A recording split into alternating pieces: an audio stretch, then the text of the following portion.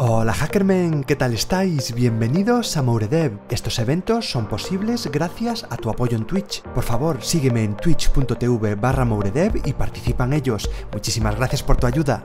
Bueno, muchas gracias por venir aquí. Lo que estaba contando es que traigo un tema que a mí me interesa mucho y que hacía mucho tiempo que quería volver a traer. Ya se trajo en su día a YouTube y ahora digamos como le estamos dando duro a, Twitch, pues creo que es un buen momento para, para retomarlo y con alguien digamos de, de altura como es Alba Mayo. Así que bueno, démosle ya la bienvenida. Voy a desmutearlo para que no se me olvide. Y bueno, bienvenido Alba y muchas gracias por estar por aquí. Hola. ¿Qué tal? ¿Qué tal? ¿Qué tal? Bien eso de altura, vamos, vamos a decir que no tanto. Uf, qué feo se me ve en el stream, me estoy viendo ahí mismo. Culpa mía entonces. ¿Qué ha pasado con los colores? Tengo que meterle más saturación. eh, capturé pantalla, tal cual. Capturé pantalla y bueno, así salió. Eh, a ver quién está ya aquí escribiendo por el, por el canal. Supongo que habría un momento que me estaríais echando pestes. Bueno, aquí café, sí hay café hoy. Tranquilos, buenas tardes desde Chile. Café bien listo, así me gusta. Estemos en el mejor crossover de la historia, posiblemente, dice. Bueno, lo diréis por él, porque yo el crossover eh, os tengo preparadas una sorpresa y es enseñaros el juego. Hice tres juegos, pero os traigo el mejor y vais a flipar. Entonces, bueno, eh, lo quería reservar para un día, para un día especial. Em, vale, ya te dicen aquí Jimmy Joy que pregunte. Bueno, Nada, no vamos a caer en glitches. Dejaros de leches, preguntar mm, cosas serias, que vamos a hablar de desarrollo. ¿Se escucha bajo? ¿Se me escucha bajo a mí o, o a Probando, probando, ¿se me escucha bajo a mí? Sí, sí, sí. Aún lo puedo subir, es decir, lo tengo un pelín más bajo, porque otras veces me ha... ¿Se escucha bien? Vale. Tiramos millas. Vale, no hay audio, sí, aquí, vale. 200 comentarios diciendo que no había audio, vale. Perfecto. Vale, se escucha bien, se escucha bien.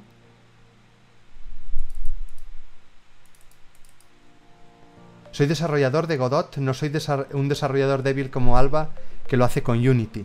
Eh... A lo fácil. ese perro del alba que quiere sacar juegos a lo fácil. ese ataque en el primer minuto de directo. Vale, ya hay por aquí preguntas. Bueno, antes de ya empezar con esto, eh, obviamente Alba Mayo es mucho más conocido que yo, pero, pero bueno, que se presente por si hay alguien que no, lo, que no lo conoce. Así que bueno, cuéntanos un poco de dónde vienes y, a qué te dedicas, aunque ya es bastante obvio. Hola, soy Alba Mayo, desarrollador de videojuegos indie y youtuber y streamer un poco. Y hace, desde hace tres tirando cuatro años, que lancé mi primer juego, Mayotori. Eh, luego lancé Golfing Over It. Luego lancé Shipped. Ahora estoy trabajando en otro que se llama Purella. Y los tengo. Los dos primeros están disponibles tanto en PC como en móvil. Y creo que hemos venido aquí a hablar un poco de apps de móvil, hmm. pero puede que sea también de otras cosas. Y eso, eso sería el resumen. A ver, lo interesante yo creo que también es el. Si podemos debatir entre todos, a ver si por qué móvil, por qué PC, eh, un poco ver, digamos, dónde puede estar el mercado o qué nos interesa. Si nos damos centrado en móvil, mejor, porque bueno, aquí hay mucha gente que está, o por lo menos siguiéndome a mí en el canal de YouTube, que son tutoriales de desarrollo iOS y Android, pero bueno, eh, a mí me gusta mucho el tema. Así que creo que podemos tirar hacia, hacia cualquier lado, porque yo creo que más importante que el decir eh, mejor desarrollar para Android, para iOS o para PC, es decir, oye, soy un tío que estoy en mi casa eh, y que he creado una forma de vida, ¿no? Eh, igual que yo lo hice con las apps, pues tú con los juegos y decir, oye, es que es un mercado que existe y que podemos salir adelante y no me tengo que ir a la empresa de turno a trabajar o bueno, o por lo menos intentarlo, ¿no? Yo creo que ahí es donde, por lo menos a mí es la parte que, que más me interesa, porque yo eso lo desconozco, siempre has desarrollado juegos eh, por tu cuenta, has llegado a trabajar alguna vez profesionalmente fuera de lo que es tu estudio. De videojuegos no, de videojuegos he trabajado solo haciéndomelos yo mm. mismo. Porque de formación, em, no, de formación. formación Eh, no he ido a la, bueno, fui a la universidad tres meses, pero no tengo una carrera. Ah. Estudié dos eh, ciclos de formación profesional de grado superior, basura para pasar los años simplemente. Vale. No Autodidacta, ¿no? Sí. Así Vale. que todo lo que sé, que es básicamente usar un poco Unity, eh, lo aprendí por mi cuenta. Vale, vale. La, bueno, la- el camino cada vez yo creo que más claro de los desarrolladores. Yo creo que ya fuera de lo clásico, clasicón de acabo trabajando en una consultoría, eh, el resto nos lo acabamos labrando por nuestra cuenta. Así que bueno, yo creo que es más de lo mismo y otra persona que os puede confirmar cuando me decís, oye Bryce, universidad, ciclo, yo dije, bueno, eh, si una persona trabaja bien por su cuenta, también hay mucha potencia en, en eso.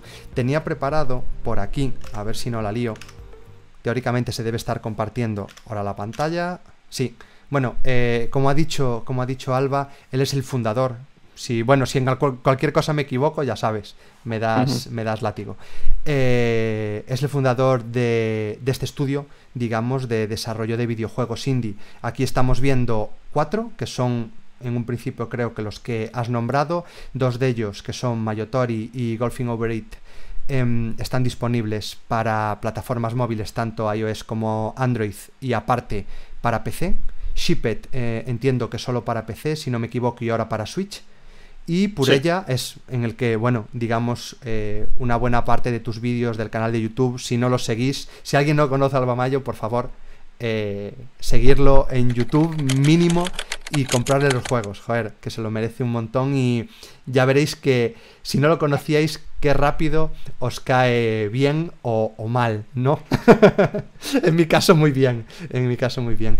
Y nada, eso, lo último que decía es el juego de, de Purella, que es en el que estás trabajando ahora.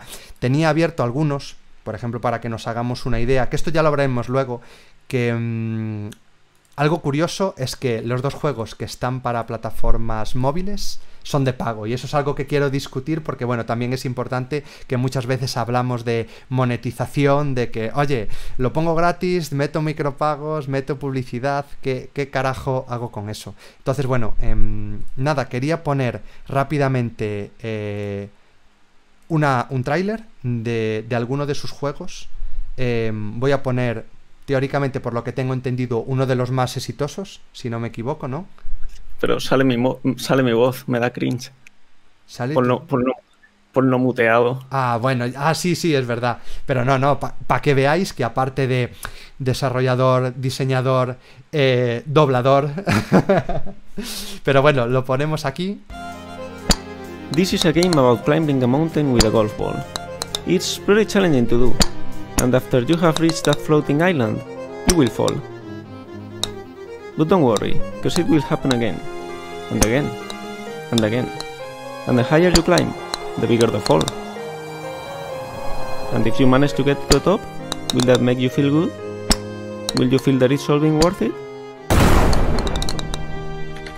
I think you will.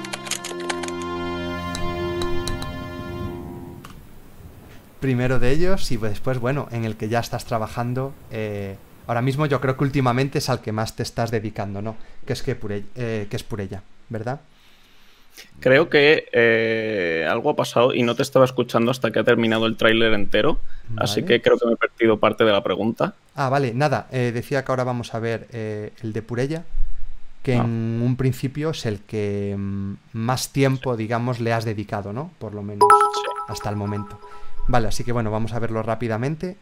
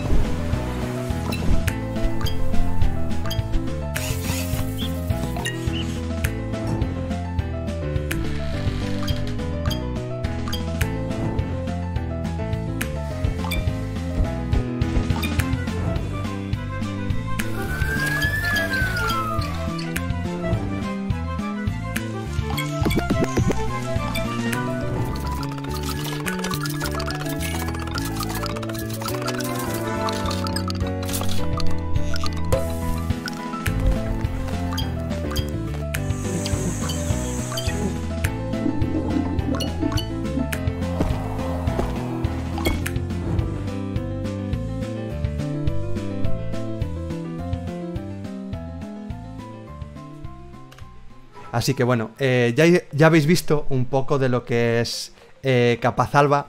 Me dejo reservado el tráiler de mi juego. No sé si lo pondré, porque ahora aún me acabo de sentir más ridículo al ver sus juegos.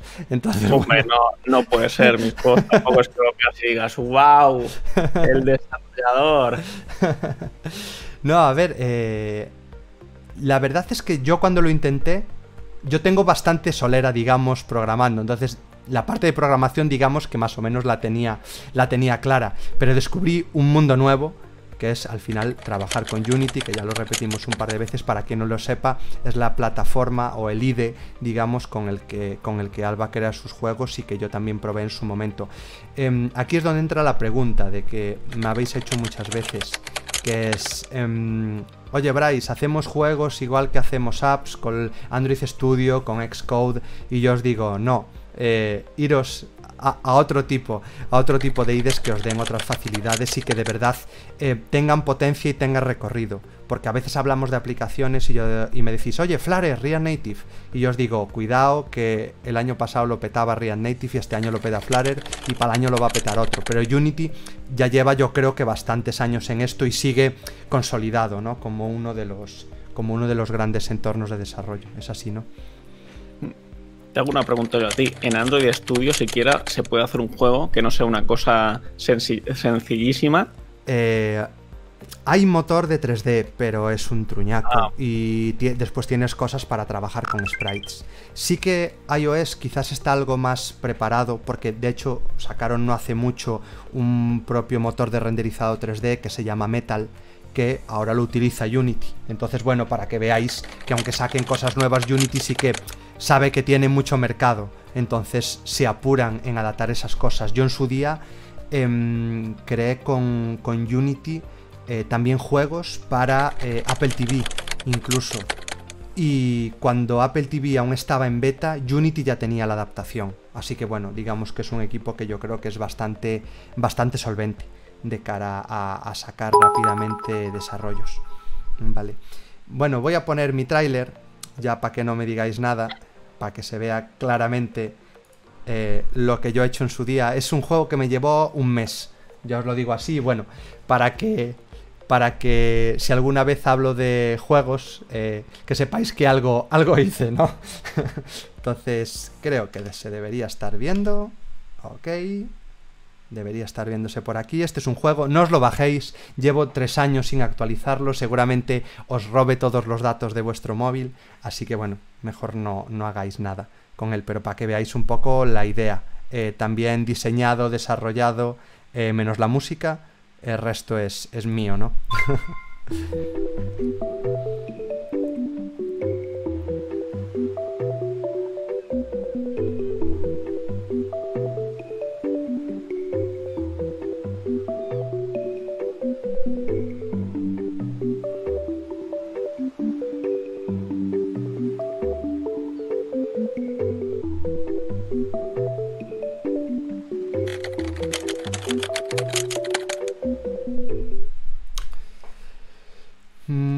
Bueno, ya os hacéis la idea de lo que había por aquí, así que bueno, eh, sin más, ¿no? Me lo esperaba mucho peor cuando has dicho ahora ya no lo enseño. Mm, es que no hace nada. el juego era la, bañera. Es, el típico, pero al menos no sé, visualmente tiene su encanto. Quizás ahí es el punto, la parte visual. Típico no es tampoco algo que digas, Dios, qué cutrada. No, no, no. Era como una espinita que tenía. En plan, siempre quise hacer un juego y cuando hace cinco años dejé mi empresa y monté la mía, dije, me voy a dedicar un mes a hacer un juego y lo que salga. ¿no? Entonces, bueno, ahí es lo que quedó. Hay otros dos más, pero bueno, eh, si cabe más, más cutres, ¿no?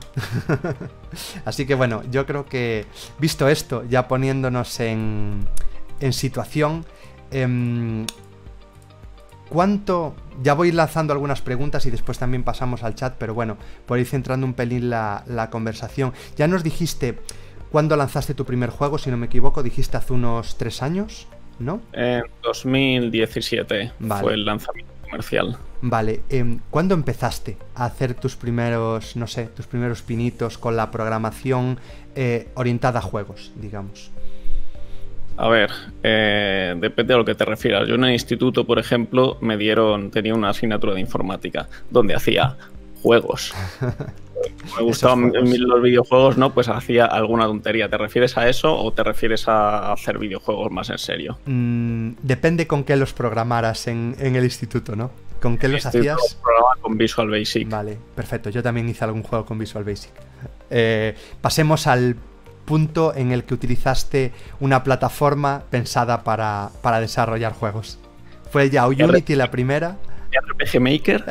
vale, vale, vale, perfecto, perfecto. No, pero eso supongo que como, bueno, iba a decir todo el mundo, no todo el mundo, pero mucha gente, al menos RPG Maker que salió cuando yo era adolescente más o menos, ¿no? Mm. Y era como tal vez la primera gran eh, plataforma de este tipo popular, ¿no? Que era como, wow, puedes hacer tu propio juego, tu propio RPG, wow, chaval, te pones ahí los sprites ahí se mueven, así que también hice un poco el tonto con eso, no salió nada de ahí, pero bueno. Y ya después de eso, años después, fue cuando entré directamente con Unity. Hmm. Em, mucho antes de publicar tu primer juego, empezaste con Unity. Eh, no, empecé, o sea, cuando, empecé a, desarrollar Mayotori, estaba a la vez aprendiendo a usar Unity y de hecho estaba un poco desesperado. O sea, llevaba algunos años intentando hacer un juego con un compañero, pero yo no era el programador, entonces yo ni tocaba Unity ni nada o, vagamente, ¿no? Entonces, cuando me puse a hacer Mayotori, de hecho, ni siquiera sabía usarlo y pensé, ¿para qué aprender a usarlo siquiera? Vamos, juego, sé, poner imágenes. Sí, pues ya está. El resto improvisándolo. Y no sabes lo que era el absoluto desastre. Luego jugabas y no te enterabas, ¿no? Pero si habías el proyecto decías, pero tío, tío, no estaba. Imágenes en vez de ser Sprite eran imágenes del canvas de la UI. Claro metidas ahí tal cual. y se cambiaban ahí una detrás de otra todo el código en un solo script. Porque ¿para qué, ¿para qué cambiar y para qué pasar variables entre scripts, no? Si puedes tenerlo todo en un, en un solo lado, ¿no? Más fácil. Si funciona, ¿para, ¿para qué tocar? Si ahorran recursos. Y, y era en plan así. Me veo muy reflejado, me veo muy reflejado en eso porque yo, eh, cuando dije, va, quiero hacer un juego, joder, eh, sé que no me voy a dedicar a esto, pero bueno, sácate el tema del juego. Eh, sé que me busqué un tutorial, estaba el famoso Flappy Bird por ahí, llevaba cinco clases, imagínate, no sé, de 15 minutos, y dije, suficiente. esto está tirado. Y me metí y hice, bueno, ya la mierda que acabáis de ver, pero bueno, peleándome con un montón de, de rollos, pero es eso, y los sprites supe a posteriori ya que es en plan, sí, sí, sprites sí, pero qué coñazo, ¿por qué sprites cuando puedo poner imágenes y ya me montaré yo mis rollos, ya me haré las imágenes por separado, ¿no? Como tiene que ser. Bueno, al final entiendo que errores de, novato, solo que yo lo, dejé allí, mi proyecto sigue estando, sigue teniendo esa, esa misma pinta, pero bueno, eh, que muchas veces lo importante, que también me, preguntáis mucho, eh, que parece que queréis avanzar mucho y yo os digo, joder, eh, yo tengo un curso, por si no lo sabes, de desarrollo de, mm, para iOS. Y me decís, oye, y son 30 horas de curso. Digo, y cuando acabe las 30 horas y yo os digo, empezar a, picar, empezar a programar cuanto antes mejor, aunque sea una mierda, aunque sea una app, o que no llegue ni a la tienda, o que solo sea algo para cubrir una necesidad vuestra. Pero muchas veces el dar ese paso y empezar a currárselo uno es como te vas a empezar a pelear con Google, vas a ver cosas que no entiendes, vas a buscar información y muchas veces avanzas más rápido que cuando alguien te lo da todo mucho más mascado y mucho más atado. Porque bueno, al final es la vida del, programador. Yo llevo, no sé, 15 años programando y a día de hoy sigo peleándome eh, con, cada línea que escribo prácticamente. Así que bueno, es más de lo mismo. vale, em, ya te, digamos, decidiste desde un principio o cómo fue el punto de inflexión. empezaste a hacer juegos, eh, te llegaste a plantear trabajar de otra cosa mientras, hacía mientras hacías juegos o ya trabajabas o dijiste, no, no, esta es mi apuesta de futuro, yo voy a empezar aquí a lanzar juegos hasta que, hasta que aparezca un Flappy Bird? Yo al principio quería dedicarme a los videojuegos, ¿no? Entonces fui a la universidad a estudiar programación, una ingeniería de estas, y estuve ahí unos meses y dije, no, qué puto coñazo, tío. Es que además era como una asignatura de programación y programación de estas en ensamblador. Su, ¿Se puede decir tacos en tu stream? Sí, sí, sí, claro. Su puta madre con ensamblador. Y eso, que te están enseñando, te empiezan desde abajo, lo más bajo, toda la teoría, cómo funciona una pila de mierda, y, la mitad de las asignaturas son empresas y, lógica y no sé qué, y era como, yo es que el primer año es terrible. Yo no aguanto tres años de esta mierda para que luego me enseñen a, programar. A programar, ¿verdad? Sí, sí, además que empiezas con lo más, con lo más básico, joder, es que dices, oye tío, en serio, ya tenemos que pasar a lo siguiente. Yo creo que es muchas veces el problema de los estudios oficiales. Que es, mm. sí, joder, que eso estaba genial porque seguramente estás hablando, hablando de ensamblador y hace 30 años cuando hablabas de ensamblador, ensamblador aún estaba casi por ahí. Ahora no, tío. Ponme ya a hacer cosas y no te centres tanto en esto porque, bueno, ya hay otra. ya que las bases son importantes, pero cuando empiezas directamente por las bases sin haber llegado a ver para qué te va a servir o cuál es el objetivo, pues eso se pierde mucho. Entonces lo dejé, luego me metí a esto, a estudiar los grados. En el de informática me hicieron lo mismo. En el de informática, que es, e, es, formación profesional, ¿no? Ya entonces supone que ni ensamblador ni mierdas, te enseñaban Java en plan directamente para hacer apps. Pero el profesor que teníamos era un viejo a punto de jubilarse ah, y era lo mismo. No, no, ¿para qué, ¿para qué vamos a usar aquí las funciones de Java que ya están hechas? Vamos a, programar una pila en Java de memoria. ¿Para, qué, vamos a escribir simplemente string y guardar una string? no, no, no, no. Y lo mismo, nadie, nadie se enteró de nada. Yo salí de allí sin saber cómo funcionaba una función, así que imagínate el nivel que había. Eso lo aprendí luego y bueno, la cosa es que dejé dejé lo de dedicarme a los videojuegos, dije, vale, nada. Y por aquel entonces todavía no existía el rollo indie y tal, o no se conocía mucho. Era como eso de hacer un juego tú en tu casa, eso no, eso no es una posibilidad. Si no sabes, tienes una carrera y entras en una empresa, mm. no hacen videojuegos. Así que lo dejé, acabé en una empresa de tester de. no de videojuegos, de aplicaciones web, de. Eh, ¿cómo se dice? Eh, agencias de viajes. Eh, allí me, como era el único que sabía algo de programación, me pusieron a programar algunas cosillas y tal, pero al final lo acabé dejando porque me, me sentaba muy mal lo de tener que madrugar, estar allí ocho horas, trabajo ultra repetitivo muchas veces. Y dije, no, venga, voy a ponerme aquí a cumplir mi sueño. Y estaba haciendo eso, intentando sacar un juego con un amigo. Típico error de novato de que el juego es súper ambicioso desde el principio, pero tú te crees que, esto, esto es fácil, esto en unos meses se saca acabó fracasando y entonces es cuando dije, bueno, ya, porque ahora ya tengo, tengo que dejarlo y, buscarme un trabajo de otra cosa otra vez, ¿no? No puedo seguir aquí haciendo el tonto más años y es cuando dije, venga, saca, saca un juego en Unity, el más fácil, el, el, lo más sencillo que puedas hacer, que tú no sabes programar nada ni sabes usar Unity, algo que sean cuatro imágenes y entonces como hice el de Mayotori, que para quien no sepa es un juego de preguntas con historia. Entonces, básicamente la programación es que salga una imagen en pantalla y que salga texto en pantalla y tengas que clicar una opción, ¿no? Eh, básicamente. Y así fue como saqué la primera versión de Mayotori, que luego cuando la fui a sacar en Steam la raíz entera ya sabiendo usar mejor Unity y le añadí animaciones, una interfaz más bonita y todo el rollo. Y así fue como empecé. Joder. Pues yo creo que tiene muchísimo mérito, porque al final es currárselo todo desde desde la base, ¿no? Porque al final sí que es autodidacta prácticamente puro, puro y duro. Porque aunque dieras programación, dices que no fue gran cosa lo que te enseñaron y al final esa programación en muchos casos es difícilmente aplicable a, los juegos. Porque un juego tiene muchísimas más cosas. Es decir, al final ya no es solo la parte de programación que puede ser un dios del metal programando, pero al final tienes que saber contar una historia, tienes que saber interactuar con, físicas, con otro tipo de cosas y bueno, la parte del diseño que por lo hasta lo que sé también también la haces tú, ¿no? El diseño gráfico sí, lo hago yo. ahí nos viene muy bien el, minimalismo. No, yo es lo, yo es lo, en lo que me apoyé. Tengo un juego, uno es rollo pixel art y el otro es el que acabáis de ver y yo dije, perfecto, a tope con, si no fuese por eso, si no fuese porque el estilo artístico te puede salvar haciendo cosas sencillas y fáciles que puede hacer cualquiera, no estaríamos aquí. ya te digo, totalmente, totalmente.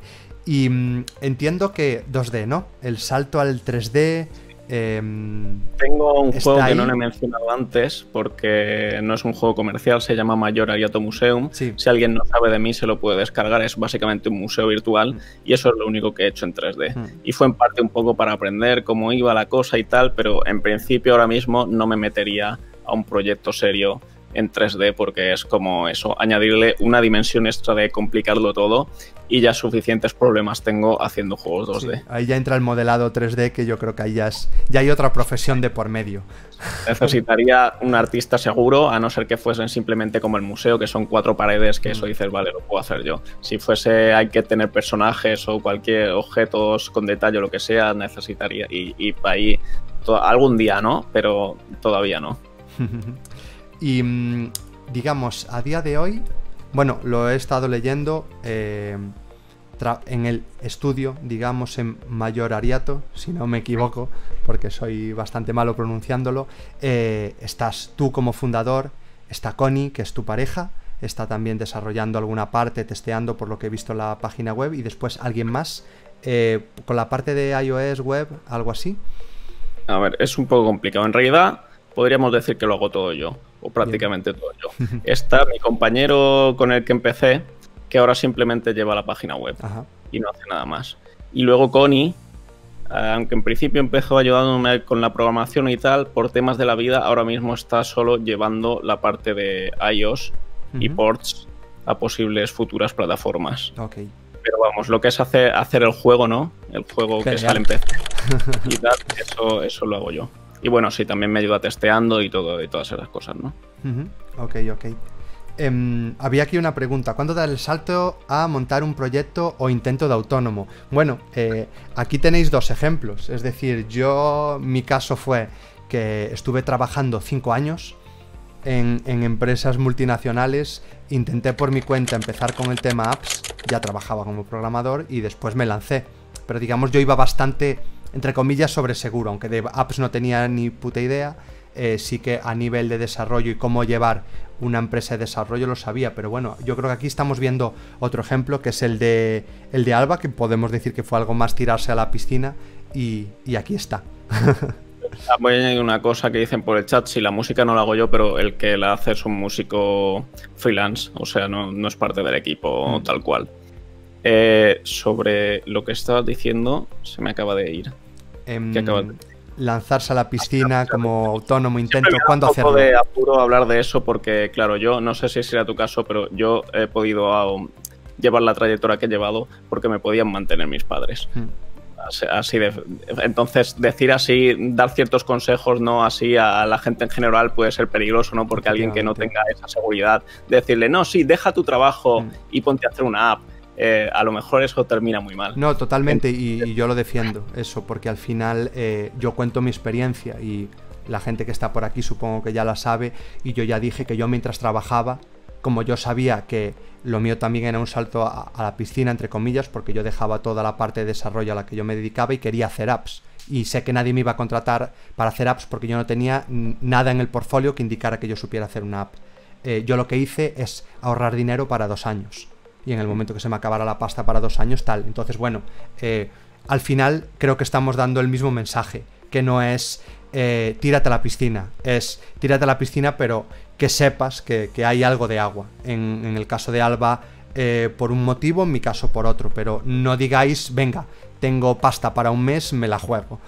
no, es decir, que sepáis que hay alguna forma ni siquiera tirarse a la piscina, sino ir empezando. O sea, idealmente lo que tendría que haber hecho y lo que era el plan original era ir haciendo cosas en plan en tus ratos libres, en hobby. O sea, mientras estudiaba yo ya estaba intentando hacer el primer juego y mientras trabajaba intentaba también dedicarle algunas horas y tal, ¿no? Entonces así puedes ir empezando sin estar arriesgando realmente nada más que tu tiempo libre y una vez que ya lo veas más claro, eh, incluso puede que si tienes suerte estés empezando ya a ganar dinero porque has lanzado algo, o puede que simplemente te veas ya, digas, vale, ya, ya sé hacer Unity, ya he hecho, he participado en un par de jams o lo que sea, sé que puedo hacer un juego y que no voy a estar cinco años haciéndolo o no voy a tener problemas enormes. Entonces ya ahí puedes hacer un, salto un poco más con cabeza. Hmm. Y al final somos desarrolladores y bueno, en muchos casos si te lanzas, eh, entiendo que alguna experiencia en el desarrollo en general tienes. Yo, por ejemplo, lo que, lo que hice casi durante un año, ahora llevo más de cinco, em, lo que hice es como las aplicaciones nadie me iba a contratar para hacerlas, eran las apps que iba montando yo, que iba lanzando para ir, digamos, ganando experiencia, pero yo como ingresaba pasta, era creando software de escritorio y creando páginas web para pequeños negocios. Porque es algo en lo que yo sí que tenía experiencia y, ahí sí que lo podía vender. Entonces, aunque yo tuviera otra meta, al final también me escudaba en otro conocimiento que, que tienes. Y quien dice para juegos, para cualquier cosa, incluso si no está relacionado con la programación, lo que tenéis que tener es de cierta forma algo a lo que agarraros antes de, soltaros y decir, ole, ahora ya, ya puedo yo, ¿no? Yo creo que hmm. mínimo ir por ahí. Mm, vale. Para un primer desarrollo deberíamos comenzar con las mecánicas o tener los sprites antes para tener una mejor idea de por dónde quiere ir el juego. Nos dicen por Mejor, si es el primer desarrollo en plan que todavía estás tú aprendiendo y tal, eh, siempre mejor las mecánicas porque es lo que te da, va a dar mucho más problemas.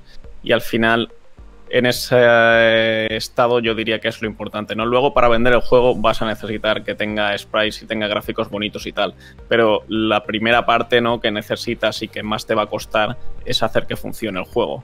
Entonces hay que empezar por hacer que funcione el juego y da igual que sea bonito o no. Luego, cuando ya funcione, o sea, cambiar los sprites una vez que el juego ya está funcionando es, lo más fácil. Mm. Si te va muy bien, le pagas a alguien que te haga los sprites y ya tiras. Y además, probablemente te ahorres tiempo y dinero porque si empiezas con los sprites, luego las mecánicas van a cambiar seguro, vas a tener que adaptar cosas y es posible que tengas que rehacer parte del trabajo que has hecho porque ahora ya no te encaja, etcétera. Entonces, incluso en eh, proyectos profesionales normalmente se empieza con las mecánicas y luego ya se va añadiendo los sprites. Eh, si vas a hacer un proyecto comercial sí que tiene sentido eh, pensar primero al menos en qué estilo gráfico vas a ponerle, ¿no? Para, para saber ya que va a ser atractivo, ¿no? Hacer tal vez algún concept art o lo que sea para ver por dónde va a ir pero nadie empieza nunca haciendo primero los gráficos. Bueno, digo nadie empieza nunca, a lo mejor sí, ¿no? Y depende del género. Si vas a ser un Walking Simulator, a lo mejor sí que prefieres empezar haciendo los gráficos, pero en general no se empieza nunca haciendo los gráficos antes que el resto del juego. Sí, yo opino lo mismo. Para pequeños desarrollos, tirar por la lógica, que al final suele ser lo que más se atraganta por las mecánicas y el bonito ya vendrá después y eso en muchos casos también puede ser muy variable y no suele ser lo más difícil de, cambiar. Entonces muchas veces nos enganchamos y nos quedamos fijos con eso porque claro, al final queremos que luzca lo mejor posible y si nos guiamos por eso puede que nos quedemos bloqueados semanas o meses antes de dar el siguiente paso. Nos dice Valendev, que supongo que sé quién, quién es y tú también, eh, los juegos se tienen que hacer con un motor hecho a mano, malditos. Ahí sí que me volvería loco. Un motor hecho a mano, socorro. Así que me retiro. Si tengo que hacerme yo el propio motor, no quiero participar en esto. Em, estoy viendo Twitch o YouTube. Supongo que fue cuando te presentaste, no lo sé. En qué momento fue esto, porque voy leyendo los comentarios desde, desde atrás. ¿Qué recomiendas estudiar? Ya vamos aquí a lo, a lo duro. ¿Te reafirmas ahora con lo que sabes? Dirías, oye, es que quizás te puedes ir, me lo invento, a Udemy. Ahora he visto que Platzi ha sacado como una carrera de videojuegos. Eh, ¿Hay algo que sepas por ahí? Digamos que tú digas, tiene sentido o vamos a darle un, un intento ¿no? para aprender de esto. De lo que quieras hacer, o sea, es diferente, por ejemplo, si lo que quieres es trabajar en una empresa, que si lo que quieres es hacer cosas por tu cuenta. Si lo que quieres es hacer cosas por tu cuenta, 100% aprende por, por ti mismo no, no, tiene ningún... Bueno, a lo mejor solo en el caso de que digas, es que se me da fatal, lo he intentado, busco algo por internet, no tengo ninguna base. En ese caso, buscarte alguna escuela que dé un curso de videojuegos o algo así, te puede ayudar porque empiezan desde cero, está el profesor para ayudarte y tal. Una carrera diría que ni eso, porque no suelen ser, depende de la carrera, ¿no? Pero normalmente van más a, fondo, más a teórico y cosas más tal, que para hacer tu propio juego igual no te interesan. Si lo que quieres es trabajar en una empresa, eh, abrir, tener una carrera te abre muchas más puertas, aunque también puedes llegar, si te lo montas por tu cuenta y tienes un buen portfolio, al final mm, se suele valorar más lo que puedes demostrar que sabes hacer que simplemente decir tengo un título. De hecho, decir tengo un título sirve de poco en general, ¿no? estás como el resto. si te vas a otro país, igual, igual sí, pero en España ah, sale muchísima más gente eh, con estudios de las empresas que hay, así que decir tengo una carrera es como felicidades, ponte a la cola. Me han llegado hoy 50 currículums. Sí, sí, sí. Al final tienes que destacar y una empresa quiere solvencia títulos buenos. Es decir, que, que no digo que no tenga mérito, porque al final eh, sacarse la carrera, ciclo, lo que sea. Sacas la carrera, uh, has hecho algo, ¿no? O tu Mm. proyecto, normalmente, por suerte, eh, lo hacen bien y el proyecto de final de carrera de, de una carrera de videojuegos es hacer un videojuego. Entonces ya puedes ir con tu muestra de este, esto lo he hecho Ahí yo. Pero claro, también es verdad que se suele hacer para que quede mejor y por temas comerciales de las propias escuelas, lo hacen en grupo, muchas veces con los profesores ayudando, para que quede un juego que digas, wow, que parece triple A. Pero claro, lo habéis hecho entre 17 personas, dos de las cuales eran profesores, y, entonces no te sirve tanto de currículum porque es como... Se ¿qué te ve, se te ve el parte, plumero. Pues, pues eso. Nah, totalmente, Pero totalmente. sí, la, la- la opción más segura sería sacarse una carrera y a la vez estar haciendo juegos y hacer cosas que demuestren que, que sabes, ¿no? Y que Mm. tienes y que sabes usar Unity o sabes usar un Real Engine que te lo van a pedir, porque eso, y sales de la carrera con un título y dices, pero es que no, no sé usar las herramientas que voy a usar, yo no he hecho nada nunca, no tengo la experiencia, pues no le interesa a nadie. Tengo, por cierto, un vídeo en mi canal hablando en más detalle y sin estar sacándome las cosas de memoria de los estudios, pero en general eso depende un poco de lo que quieras, a lo que quieras dedicarte y también de tu tolerancia con los estudios, porque yo, por ejemplo, tengo poca tolerancia, aunque claro, en mis épocas no había estudios de videojuegos, había programación sin más, que como ya hemos hablado, Mm. no era lo mío. En videojuegos está un poco más enfocado, pero aún así te van a hacer estudiar matemáticas y te van a hacer estudiar, hacer tu propio motor y cosas de esas que a lo mejor dices, "Pf, prefiero aprender directamente en mi casa a, usar Unity, voy a tardar menos. Mm. Y eso, si quieres hacer tus propios jueguecillos, mejor por ti mismo. Sí. Si lo que quieres es un futuro labora- laboral más estable y trabajando para empresas y además ser un poco más pro, digamos, ¿no? Saber las cosas bien y no como nosotros, supongo, bueno, no sé si meterte en el saco, pero yo desde luego es como necesito hacer que el personaje salte, aprendo a hacer que el personaje salte tal cual y no aprendo a lo mejor un montón de cosas Mm. alrededor que serían útiles para no hacer cagadas. Mm. Y eso. A ver, yo creo que es algo a lo que se va. Hay dos formas de llegar a lo mismo. Al final, empezando por lo más básico, como hablábamos en la carrera, y llegando a ya la especialización, o al revés, eh, haciendo cosas un poco sin saber muy bien por dónde vienen y con el tiempo también tu cabeza se va amueblando y acabas llegando también al punto de decir, joder, ahora ya entiendo perfectamente que hacía esto. No, porque muchas veces, y en las carreras también es complicado, porque yo creo que se empieza en muchos casos por lo más difícil de asimilar, que al final Sí. es meterte la física, la mates, la lógica y todo el rollo, y, aún, y estás perdido, porque tú has entrado en la carrera porque te gustaba jugar a la Play. O bueno, es un perfil muy, muy, muy habitual en las carreras de, de informática, ¿no? Es, a mí me gustan los ordenadores que estoy todo el día, pero tú no estabas haciendo nada en el ordenador de lo, de lo que se supone que, que vas a acabar trabajando, ¿no? Está Mm, sonando el móvil, lo paro, vale. ah, no, si, te- o es- si tienes que coger, sigo yo, es decir, No. nada, da igual. Y otra cosa que quería aclarar es que lo de hacértelo por tu propia cuenta, si e- es en plan laboral, en plan quiero, quiero dedicarme a hacer videojuegos por mi cuenta, eh, es un plan bastante malo. ¿eh? Es como decir, que es prácticamente como decir voy a dedicarme a ser youtuber.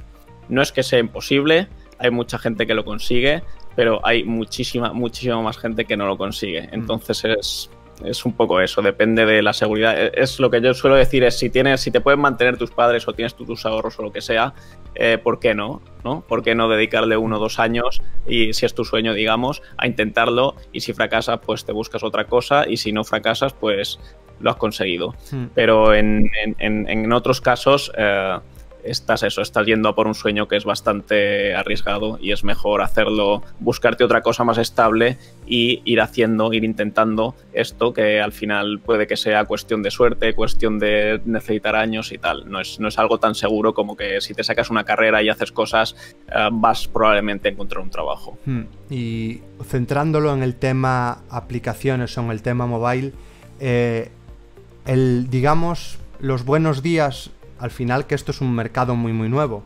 pero la buena época del desarrollador indie, yo creo que se vivió de que, oye, antes las empresas no se metían a saco, no se metían ni a desarrollar apps ni a desarrollar juegos, si yo me, si no me equivoco. Es decir, los primeros juegos al final todo era muy muy indie o gente Mm. que le dedicaba, pero bueno, no había ni inyección de pasta ni estaba detrás eh, grandes empresas. Después esas pequeñas empresas indies se acabaron convirtiendo en grandes empresas, supongo como la de Angry Birds, como Robio, algunas de estas. pero yo ahora creo que es más difícil, porque hay ya, mm, uf, hay mucha gente haciendo juegos, corrígeme, haciendo juegos indie, pero sin los recursos de... con muchísimos más recursos que un indie, ¿no? Con equipos grandes, con pasta, con marketing.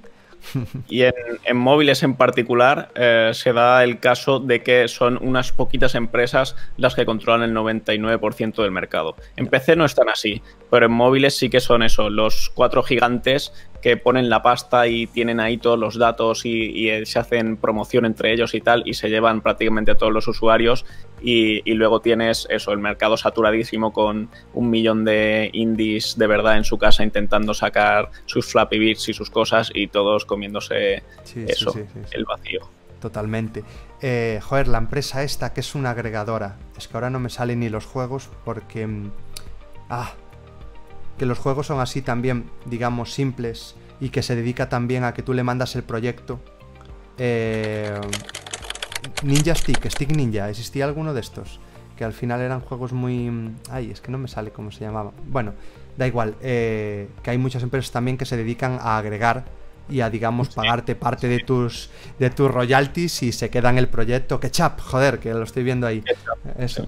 Eh, también muchas de las grandes, en vez de desarrollarlo directamente, es que se buscan los que estén haciendo algo mínimamente interesante y es como te lo, te lo compro. Y a veces también directamente pagan a gente para que copie la popular que está haciendo otra persona. Sí, sí, que eso es bastante más.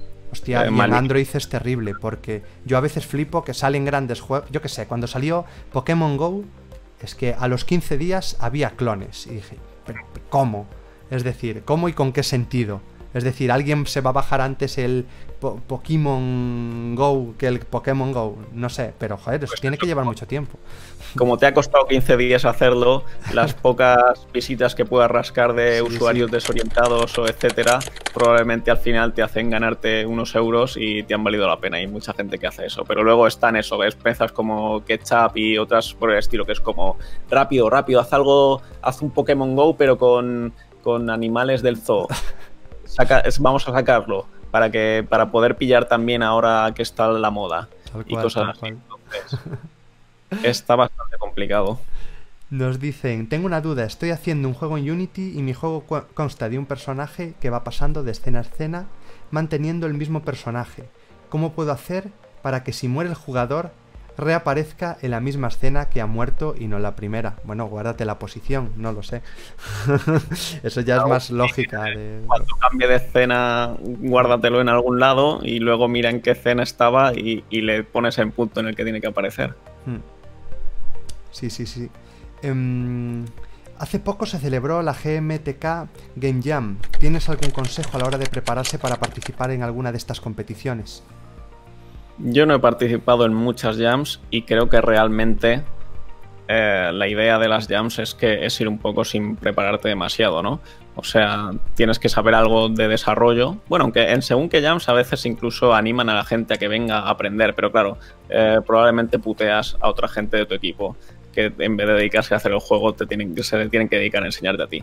Pero eso, te puedes preparar unos links de recursos que vayas a necesitar, porque en unas jams normalmente en vez de hacerte tú los gráficos, los sonidos o la música, lo tienes ya ahí lista de descarga gratis y las usas.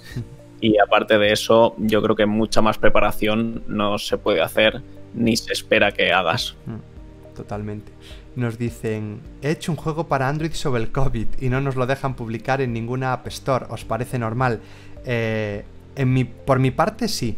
Es decir, y aparte es una regla que sacaron tanto eh, Play Store como App Store, simplemente para, digamos, centrar un poco mm, la importancia del COVID. Es decir, eh, aparecieron juegos, aparecieron un juego quizás puede ser algo más inocuo, inocuo, pero han aparecido aplicaciones de detecta si tienes COVID, no sé qué. Oye, tuvieron que un poco cerrar todo por, para no liarla.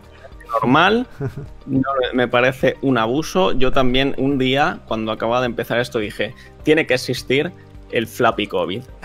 Lo tienen que haber hecho ya. Quiero verlo.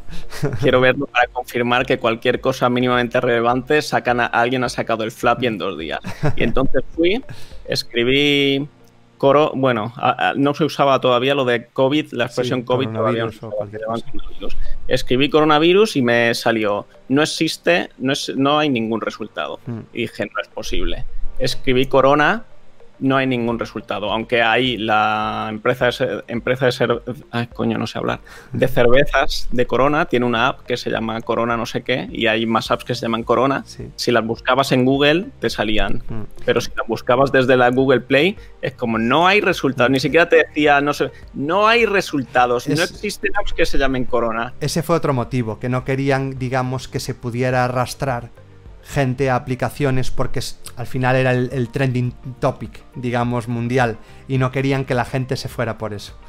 Entonces Eh, eso caparon no todo. creo, no sé, me parece un poco estúpido. Entiendo Mm. lo de querer parar los COVID trackers y todas estas mierdas maliciosas, Mm. ¿no? Que, que no funcionan y, y puedo entender que bloqueen el término Mm. simplemente porque no dan abasto o, o algo así, ¿no? Que dijes, es que no pueden estar. Que en Apple no me lo creo porque Apple revisa todas las apps Mm. una por una antes de subirla, pero no sé si eso, si dices es que llegan tantas apps que no podemos, así que lo quitamos todo, lo entiendo, pero eso, o, o tal vez me imagino que el motivo real era que no querían tener que estar poniendo la línea, porque en cuanto dijesen no se pueden hacer este tipo de apps, ya la gente que estaba haciéndola diría, vale, Mm. pero ¿y si lo camuflo un poco como juego? Claro, y si voy justo ahí a la línea, Se, entiendo que... se colaron algunas al principio y ya las retiraron. Entonces fue para en plan, oye, eh, y al final la política, porque yo en su momento la leí, porque me llamaba gente, oye, queremos hacer esto, y yo le dije no, porque al final a los únicos que le van a probar aplicaciones relacionadas con esto es a, a organismos oficiales, a ministerios, como acaba de salir al tracker o cualquier tal, para que precisamente la gente no busque, se acabe descargando lo que no es o, o se acabe desinformando. Con juegos quizás ahí deberían ser más tal, pero bueno, yo creo que para no aprovechar como se hace muchas veces, que es, y en Android pasa muchísimo, que hay eh, tal escándalo con no sé qué, bumba, 10 juegos ya directamente con eso, porque sabe que al final se comen 100.000 descargas en un día. Si lo han dejado en todos los otros casos, ¿por qué no en este, no? Me Mm. parece innecesario llevarlo a tal extremo Mm. de banear la palabra por completo. Pero bueno, entiendo un poco las razones que había, pero creo que eso, que se ha exagerado un poco. No era necesario llevarlo tan lejos. Sí, sí, sí. Quiero mi Flappy COVID. Eh, se le cambia el nombre desde configuración, desde servidor, no sé, se le pueden hacer así algunas cosas. no demos ideas. Em, el primer vídeo que vi de Alba era dándole caña de broma a Carlos Coronado. Soy fan desde entonces. Dicen esto. Mm, vale, aquí lo de la norma, vale, aquí siguen un poco sobre el tema. Mm, vale, muchas gracias a lo que poníais por aquí. Sigo buscando aquí algunas preguntas por avanzar algo más rápido. Mm. Hostia, está aquí Jesucristo, muy buena. Gracias a las suscripciones, que acabo de ver alguna que acaba de entrar por aquí durante el tiempo. Unity o eh, Unreal Engine. Unity. está claro, ¿no? Además, yo, yo nunca he usado un Real Engine, pero Connie lo tenía que usar en la universidad y se quería pegar un tiro. más complejo, quizás, o más potente. Todo el rato y tenía un montón de rollos y tal. Igual lo han ido mejorando con el tiempo, ¿no? Pero eso, y, y además, para empezar, Unity es que tiene muchas ventajas. Primero que cualquier problema que tengas lo encuentras prácticamente seguro porque lo van a haber tenido muchas más personas y tiene mejor documentación y tal, mientras que en un Real Engine muchas veces te quedas, tengo entendido, ¿eh? de otros desarrolladores que lo usan, te quedas tiradísimo y te tienes que buscar tú la vida. Además es mucho menos versátil, en Unity puedes hacer 2D, 3D, lo que te dé la gana, en un Real técnicamente puedes hacer 2D, pero es como, ¿qué estás haciendo? Y eso, los juegos además salen... Mucha gente es que a mí me envían suscriptores juegos y casi todos los juegos que me envían que sale el logo de un Real Engine, ya sé que me va a ir a 3 frames por segundo, porque se ve que viene por defecto, que es muy fácil meterle efectos chulos ahí, triple A, lo que sea, y entonces están optimizados todos como la mierda. Y todo el mundo tiene por, por, defecto, no sé si es que hay una casilla que es muy fácil de marcar o por defecto los juegos de Unreal tienen blur en la cámara al moverla, el, mo, el motion blur, ¿no? ¿se llama motion blur? No, no sé cómo se llama, pero eso. Un efecto absolutamente atroz, no sé quién se lo inventó y todos los putos juegos lo tienen puesto. Pero eso, eh, un Real Engine es para cuando quieres hacer un juego potente en 3D. En este caso sí, un Real Engine normalmente tiene las cosas más fáciles y, y tiene más potencia que Unity. Eh, para el indie de estar por casa, que no es modelador 3D, eh, yo creo que Unity es, bueno, creo yo, y en general es el con, consenso, que es mucho mejor. e incluso Godot, si quieres, si te va más la libertad del software. Em, entonces digamos que los grandes juegos que vemos por, la, por las tiendas de apps eh, seguramente estén hechos con, con Unreal. Para móviles yo creo que no se usa Unreal jamás entre... Pregunto. Yo no conozco ningún juego así mm. famosillo de móvil, tampoco es que conozca muchísimos mm. juegos de móvil, pero en Unreal me, me parece un poco... O sea, sé que se puede hacer, mm. pero creo que no. Igual estoy metiendo... entonces también no se suele hacer. Mm. Eh, en Unity sí se hacen más y las empresas grandes no sé exactamente si usan Unity o hacen su propio motor o lo que sea. en PC sí que se lleva más. En PC las grandes suelen usar, si, no usan su propio motor, usan un Real Engine, entre otras cosas porque un Real Engine es open source, eh, lo cual no quiere decir, o sea, es open source el término, ¿verdad? Lo cual no quiere decir que sea libre, sino que tú puedes acceder al código y, modificarlo, cosa que en Unity no puedes. Entonces, para un desarrollo muy grande, ¿no? Que muchas veces tienen que hacer cosas muy específicas o lo que sea, si algo de cómo viene hecho el motor no te gusta cómo está, pues y tienes a tus ingenieros pros que pueden entender cómo está hecho y modificarlo, pues van y lo modifican. Hmm. En Unity no te dejan, está ahí oscuro, no se puede mirar y entonces eso a las grandes empresas les importa más porque eso, pueden, pueden modelarlo más a su gusto, en un futuro podrían eh, sacar ese juego y exportarlo a otro lado sin tener que rehacerlo entero, cosas así, que cuando eres una, cuando te estás dejando ahí 10 millones de euros en el juego, pues te importan más que cuando estás en tu casa. Mm. Mira, dicen Nintendo usa, usa Unreal Engine en sus juegos de Switch y usa Unity para sus juegos de móvil, así que bueno, tal cual lo que, lo que estábamos hablando y bueno, ya son juegos potentes, digamos. Mm, Bryce, creo que te faltan las personas que están visionando desde YouTube. Para aclarar, no estoy emitiendo en YouTube. Porque hice pruebas algún día para emitir con Restring en los dos. Pero para avisaros de que yo los directos los hago en, Twitch. Así que para que veáis que no estaba mintiendo. Os acabáis de quedar sin, sin directo. Em, el error es meterse en ingeniería informática pensando que es programar. Es que ahí es donde deberían especializarse. Porque al final la ingeniería yo creo que lo tomamos por algo muy grande y yo, por ejemplo, vi muchísimo de, hardware.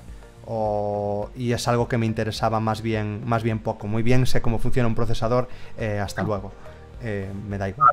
No sé ahora, pero al menos en, en su día, creo que ahora también, ¿no? Eh, si quieres estudiar programación, es lo que hay, es la ingeniería, que a veces está dividida en dos, hmm. en una de sistemas y en la otra de no sé cómo se hmm. llama, que es eso, una más orientada al hardware y otra al software, hmm. pero es lo que hay, no hay una carrera que sea aquí solo vas a programar. Sí, más ahora con el grado, que yo creo que tienes el máster y tal, pero bueno, que yo creo que a día de hoy, obviamente te da otras cosas, es una forma de pensar, de estructurarte y tal, pero digamos que, bueno, si tienes las cosas muy muy claras, eh, yo, por ejemplo, toda la parte de hardware electrónica, no sé qué, eh, eso quedó perdidísimo. Es decir, no, ya ni me acuerdo. Entonces, bueno, yo creo que a veces es mejor centrarse. Aunque deberían, es decir, no, no quiero decir que desaparezcan las carreras. Yo creo que deberían replantearse de una vez eh, actualizarlas y ponerlas como Dios manda, ¿no? Porque, joder, no tiene sentido porque el día de mañana yo ya me veo todo Dios aprendiendo por internet. Y después aún nos quejaremos, o se quejarán ¿no? Pero bueno, la realidad es esa. Mm. Vale. Sigo tirando.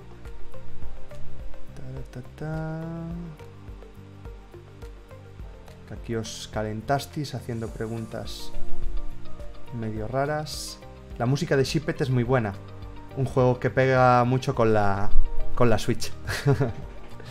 Y lo puedo decir y no soy así ególatra y nada porque no la he hecho yo. La hizo el Pero es muy buena. Es muy buena. Mm. Quisiera preguntar algo, no lo he leído, así que bueno, puede salir cualquier cosa de aquí. He experimentado en este gran mundo de la programación que para ser autodidacta es eh, un rollo de tiempo completo. La pregunta es que cuando ustedes em, iniciaron, ¿tuvieron algo de vida social? Ya que para mí no he podido sacar tiempo para charlar con mis amigos.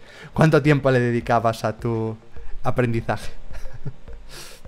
Y poco, porque como digo, yo me metí ahí en plan autodidacta, es abro Unity y me las apaño. no en plan eh, poniéndome a aprender primero, sino en plan yo toco y si esto funciona pasamos a lo siguiente.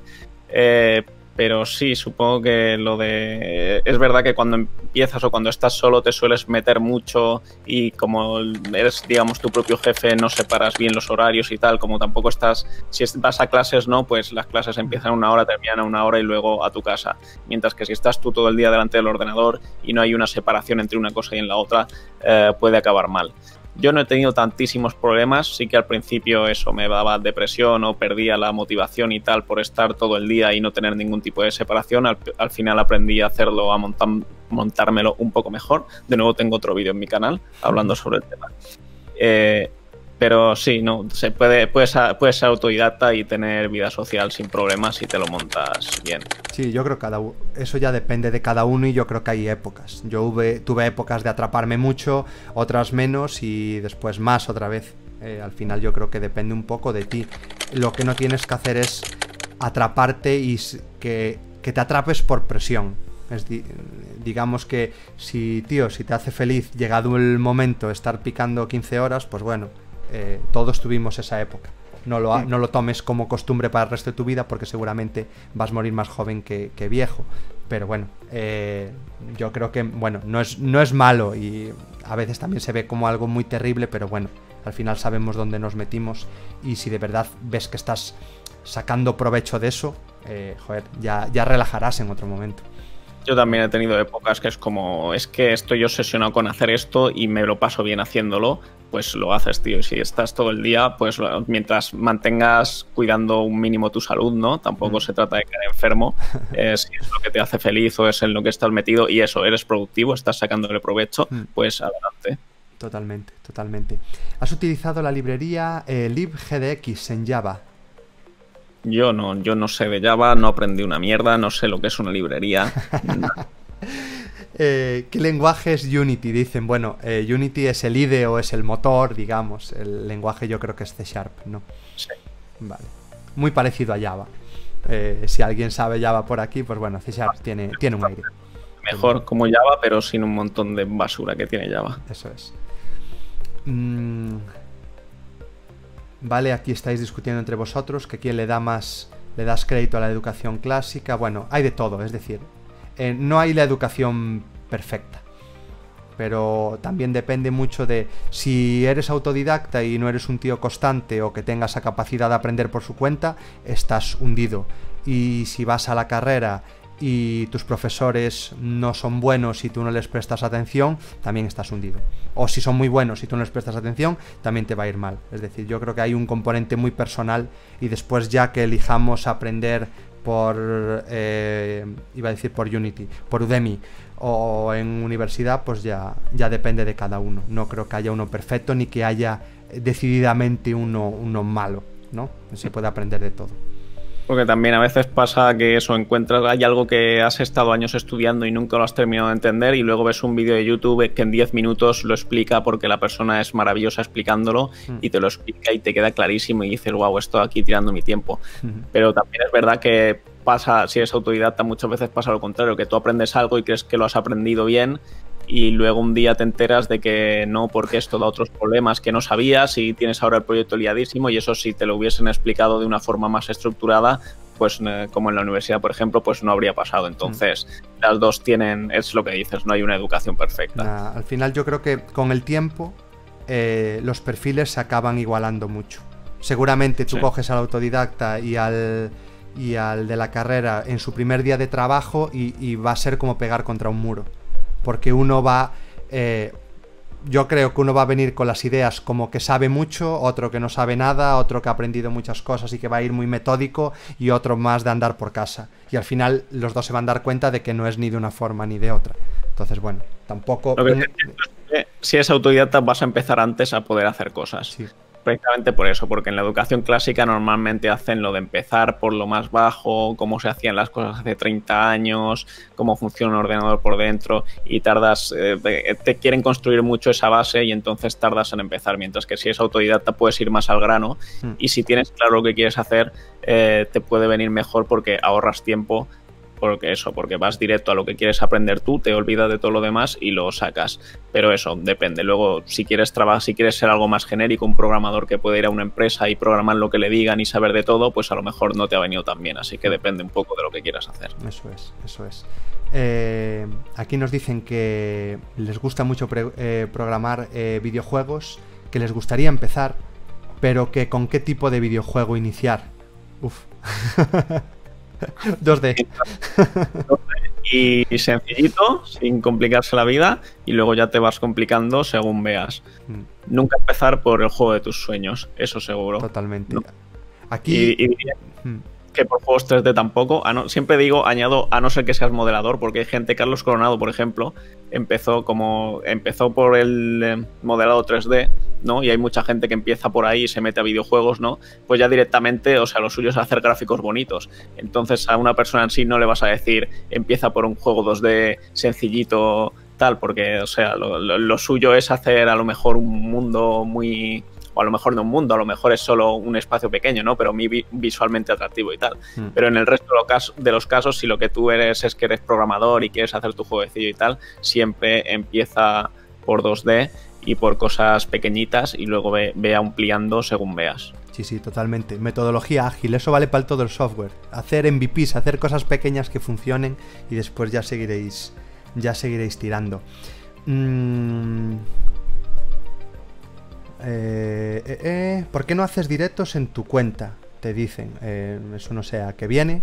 si es directos en YouTube o qué. directos en Twitch, no en YouTube.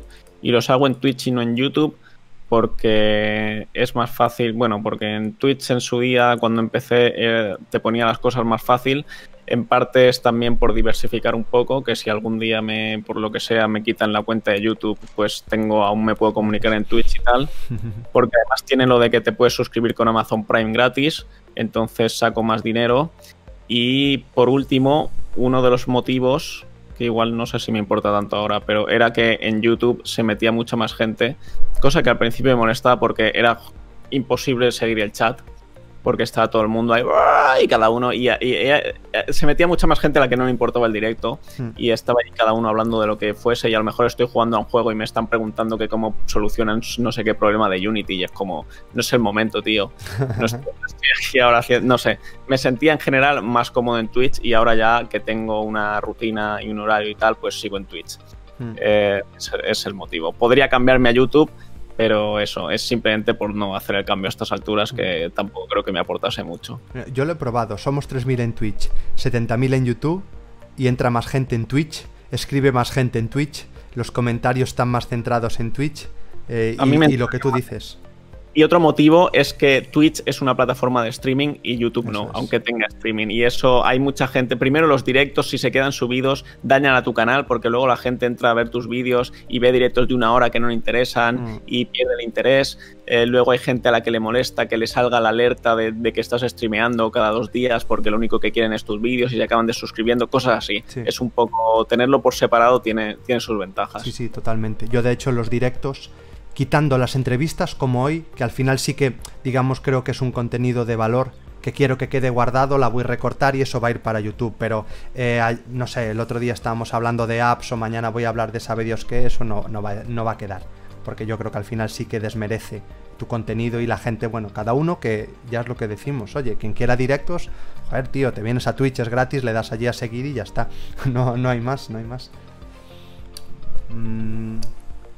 Vale, eh, ¿qué opinas de la censura por parte de Google Play?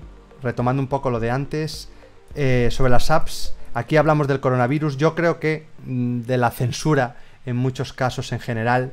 Si incluso ya por irnos a censura, ya incluso lo podemos pasar por el tema de, oye, ¿cuánto dinero se te quedan las tiendas de aplicaciones en el momento que tú publicas un juego y haces una venta?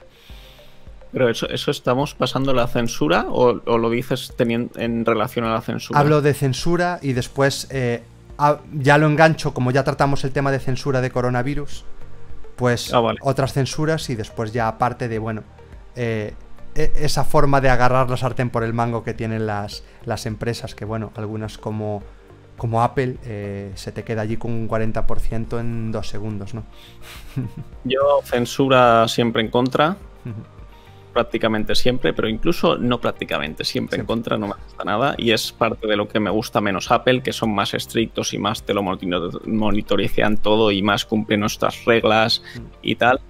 Eh, así que, bueno, no hay mucho más que decir en eso, ¿no? Estoy en contra, libertad, cada uno que suba lo que quiera. Entiendo también que en según qué plataformas a lo mejor no es, ¿sabes? También eso. Eh, YouTube no es una plataforma para subir porno, por ejemplo. Eso no es censura, es simplemente que no es la plataforma adecuada y en ese sentido sí entiendo que digan que bloqueen ciertos tipos de apps, ¿no? Pero en general, cuanta más libertad mejor. Y luego lo de que las eh, de estas se queden un porcentaje de las ganancias en principio, me parece bien, pero es verdad, o sea, depende. Para mí no, es demasiado importante, pero entiendo que hay otras. Por ejemplo, ahora lo que le está pasando a Epic o a Microsoft que quieren sacar su servicio de X Cloud y entonces Apple no quiere porque entonces no se llevan ellos dineros y no sé qué. Eso sí que me parece problemático, ¿no? Que no dejen que no puedas aprovechar la plataforma porque te están quitando no quieren ellos también llevarse tu dinero y tal, no sé, esos rollos son problemáticos, pero a mí en general, mientras, sobre todo mientras se lo ganen, no me molesta. Y, tal vez Apple se lo gana menos en particular, porque para Apple ya, estás, ya tienes que pagar 100 euros al, año, que no es muchísimo, pero es algo solo por tener tu app ahí. Y luego si ellos ni te la promocionan, ni hacen nada más que darte por culo para que la puedas sacar, pues bueno, sí, está que está en sus servidores subida, ¿no?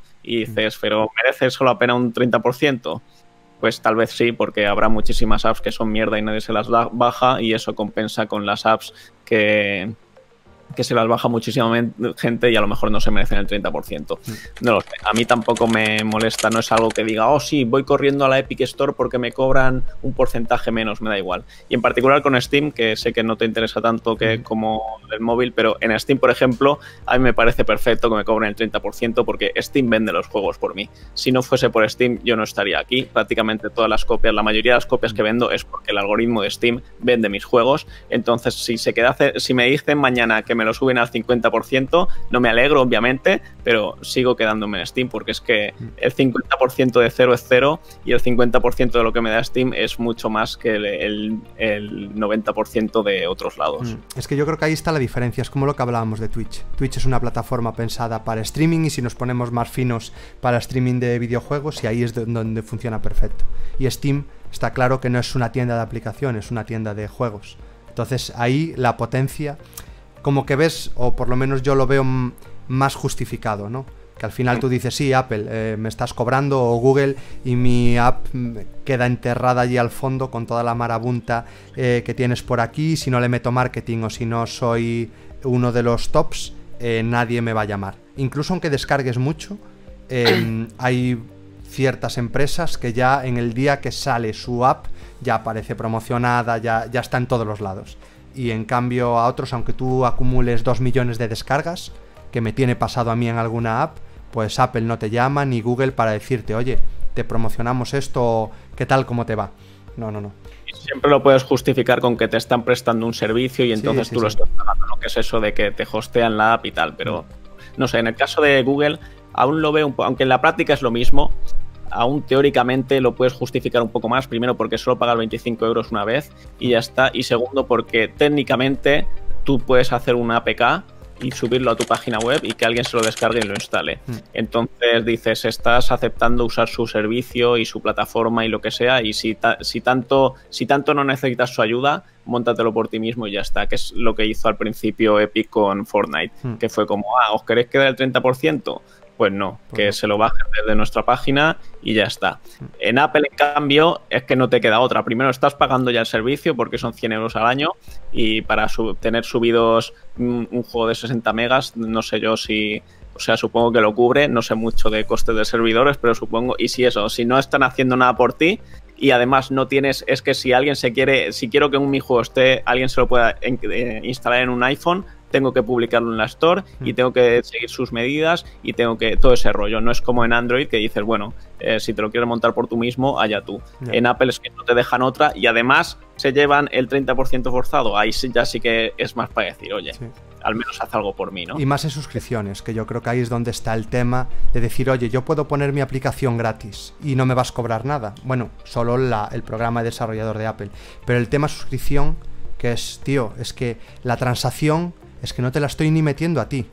Si a mí me da Mm. la, la transacción, iría contra mi servidor o contra mi pasarela de pago, no sé qué, es que no te estoy cargando en nada. Lo Y, y, parte porque es que si no, no se llevan nada. claro, Es como- todo el mundo haría suscripciones, ¿no? juego gratis, incluso sin suscripción, harías el juego gratis y que cuando abres la app te diga cómprala, pero sin pagar por app. ¿no? Y Totalmente. claro, no pueden tampoco permitir eso. Pero sí, una vez que te vas. Eso tampoco es mi problema porque yo no sigo ese modelo de negocio, pero entiendo que apps grandes y tal que hacen suscripción o tienen eh, transacciones dentro de la app y todo ese rollo, que venga Apple y, y- o Google que también lo hace Mm. y sea como, no, no, no, no. 30% de todo lo que saques de aquí tiene que ser para mí. Es que Pues sí. así solo sobreviven las grandes, porque Netflix directamente lo quitó. Vete a mi web, date de alta y la app solo la utilizas si tienes el login y el password. Muy bien, pero es Netflix. Todo el mundo sabe que te puedes ir a la web a hacer tal. Pero yo, por ejemplo, lanzas tal y ya estás hundido. Entonces ahí, uff, esa parte está, está bastante complicada. Y ya que hablamos de eso, yo creo que ya eh, estaría bien enganchar con cómo decides cómo monetizar tus apps, porque en realidad todas son de pago, si no me equivoco, ¿no? De pago inicial. No, en, quizás para PC, para, en Steam y tal, ya es más el, el modelo habitual, aunque tengamos muy de moda los micropagos y tal. Pero para, mm, para móvil, em, a los usuarios les suele costar, o costaba mucho más de lo que cuesta ahora, el dar ese paso y decir, oye, un juego, eh, dos pavos, tres pavos. em, ¿Por qué lo pensaste así? Porque no tengo para nada o muy poco en cuenta el modelo económico y te- eh, me, me importa mucho más eh, la parte artística del tema, que es que yo no quiero meterle mierda al juego. Es decir, es convencimiento puro y duro. Sí, es simplemente porque el pago es, lo haces desde fuera y tú te descargas el juego que he hecho yo y que no he tenido que modificar para adaptarlo al sistema económico del momento, que sí tiene algunas ventajas y tal, pero es que no, no quiero. Además que me jodería un montón tener que aprender cómo van lo de meter apps y toda la mierda técnica esta que se quedan muchos problemas y los anuncios y todo el rollo. Antes, antes de incluso de entrar ahí, es como, es que no quiero. Yo lo que quiero es hacer el juego y luego ya tú pagas y yo te doy el juego. No quiero tener que meter el pago dentro del juego y tener que modificar mis mecánicas para que se adapten a lo que la gente está dispuesta a pagar o que cómo está la gente dispuesta a ver anuncios y tener que hacer que es que te tienes que morir cada tres minutos para que te puedan salir el anuncio. Todo ese rollo a mí no me interesa. Y si me dijeses es que si no haces eso no puedes ser desarrollador porque no ganas dinero, pues a lo mejor me lo comía. Pero como en mi caso no puedo permitirme eh, vivir sin tener que hacer eso, voy a seguir sin hacerlo. Y aparte es un rollo gordo, porque yo también es eso, por, por aprender, eh, creé el juego que era de pago y ya está, creé el juego con publicidad y creé el juego con micropagos, digamos, un poco para, para aprender, y es una porquería, totalmente, sobre todo el de publicidad, porque como estás empezando, te sirven un anuncio cada hora. Entonces tienes que integrar cinco proveedores diferentes, a cada cual más terrible, para que si falla uno, llamar a otro. Si falla uno, llamar a otro. Si falla uno, llamar a otro. Hasta que te aparece un, un anuncio por ahí. Y en muchos casos no te aparece y no le has ganado nada y tampoco lo has cobrado al principio. Es decir, te hundiste. A estas alturas probablemente ganaría más dinero. Bueno, desde luego con microtransacciones, con anuncios no sé, pero con microtransacciones segurísimo que ganaba mucho más dinero si me metiese en ese rollo. Pero es que no quiero. Eh, porque eso, en el mercado móvil es lo que tú decías antes, hay muy poca gente que esté dispuesta a pagar así sin más. Y además con razón, porque las cosas que hay en móvil suelen ser de una calidad bastante cuestionable en general. Cuesta encontrar una app o un juego que digas, hombre, pues sí, estoy contento de haber pagado por esto, ¿no?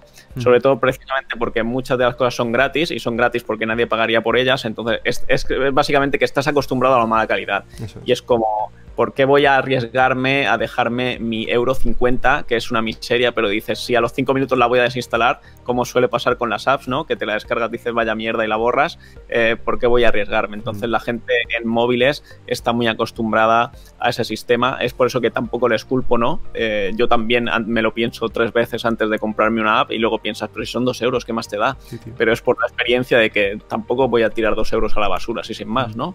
Mm. Eh, pero eso, por suerte el mercado de PC todavía no ha llegado a ese punto y espero que no llegue porque es mi único refugio. Eh, eh, para juegos premium y cosas de tú pagas y yo te lo doy, cada vez está peor lo de móvil, ¿eh? Mm, Vale, ahí eh, muy interesante.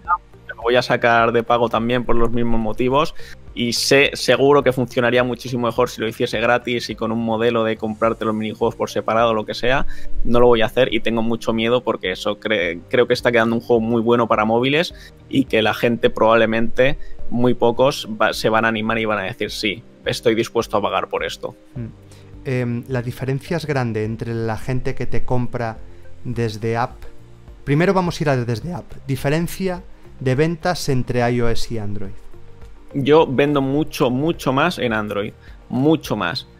bueno, siempre, justo te voy a decir, la excepción ha sido hace poco. En, mi carrera siempre he vendido muchísimo más en, Android que en Apple. No sé exactamente el motivo. Puede que en, en, Android sea más fácil llegar a tops de descargas o algún chart en, en una categoría particular. Puede que sea porque yo lo anuncio más porque no tengo Apple y tengo Android. No creo que sea eso porque la diferencia sería bastante mínima. No lo sé, pero siempre he vendido en plan puede que cinco veces más en un lado que en otro, depende un poco de la temporada, ¿no? Pero en, iOS ha sido más bien migajas y en, Android siempre el doble o más. Recientemente un streamer, un streamer, no, un youtuber, hizo un vídeo de Golfing Over It, un, youtuber japonés. Eh, esa semana espiquearon las ventas de forma brutal, eh, solo en móviles. Al principio yo la vi solo en Android y pensé, wow, que 500 ventas de este juego de repente en Japón, que tenía siempre como un par de ventas al mes. Wow, ¿qué ha pasado? Y vi al, este, ¿no? Y luego eh, Apple ni lo miré. Y luego cuando em, llegó el, mes que te hacen el pago y tal, y, vi lo de Apple, dije, pero esto, miles de descargas de repente en Apple, que no casi no, no en todo el año no se han comprado mil personas el juego. Eh, entonces, ese es el único punto en el que en Apple ha vendido, tal vez, me imagino que en, en en Japón Apple se lleva mucho más o en particular la gente que sigue a este señor es de Apple, no lo sé. Hay mucho usuario de Apple en Japón, muchísimo. Ha sido el único punto en el que Apple ha superado y además con, amplísima diferencia a Android. Sí, pero yo eh, creo que por eso. gano, gano bastante más en, Android que en Apple. Vale, y entiendo que más en PC que... Y en PC mucho más que en móviles. Ok. Por lo menos el doble. Ok, ok, ok. Vale, tenerlo en cuenta. Futuros desarrolladores. a ver, yo creo que es como todo, es decir, al final sí que tu mercado está centrado en eso y los modelos también de negocios, bueno, también afectan mucho. Está claro que hay gente que... Eh, yo creo que la posibilidad está en todos los lados, eh, que al final...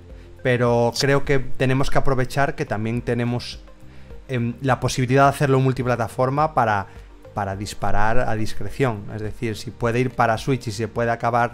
No sé, no sé ni cómo es publicar un juego en Play o en Xbox. No sé si eso hay que pagarlo, si tienen que recomendarte, si puedes subirlo tú o no sé ni, ni cómo va tienes que conseguir que te aprueben, digamos, como desarrollador, ¿no? O sea, mm. presentarte y que te digan, vale, sí, puedes. Y normalmente tienes también que pagar por el kit de desarrollo, que es como una especie de consola para desarrolladores, que antes era en los tiempos más antiguos, con donde no se lleva tanto lo indie, era súper cara.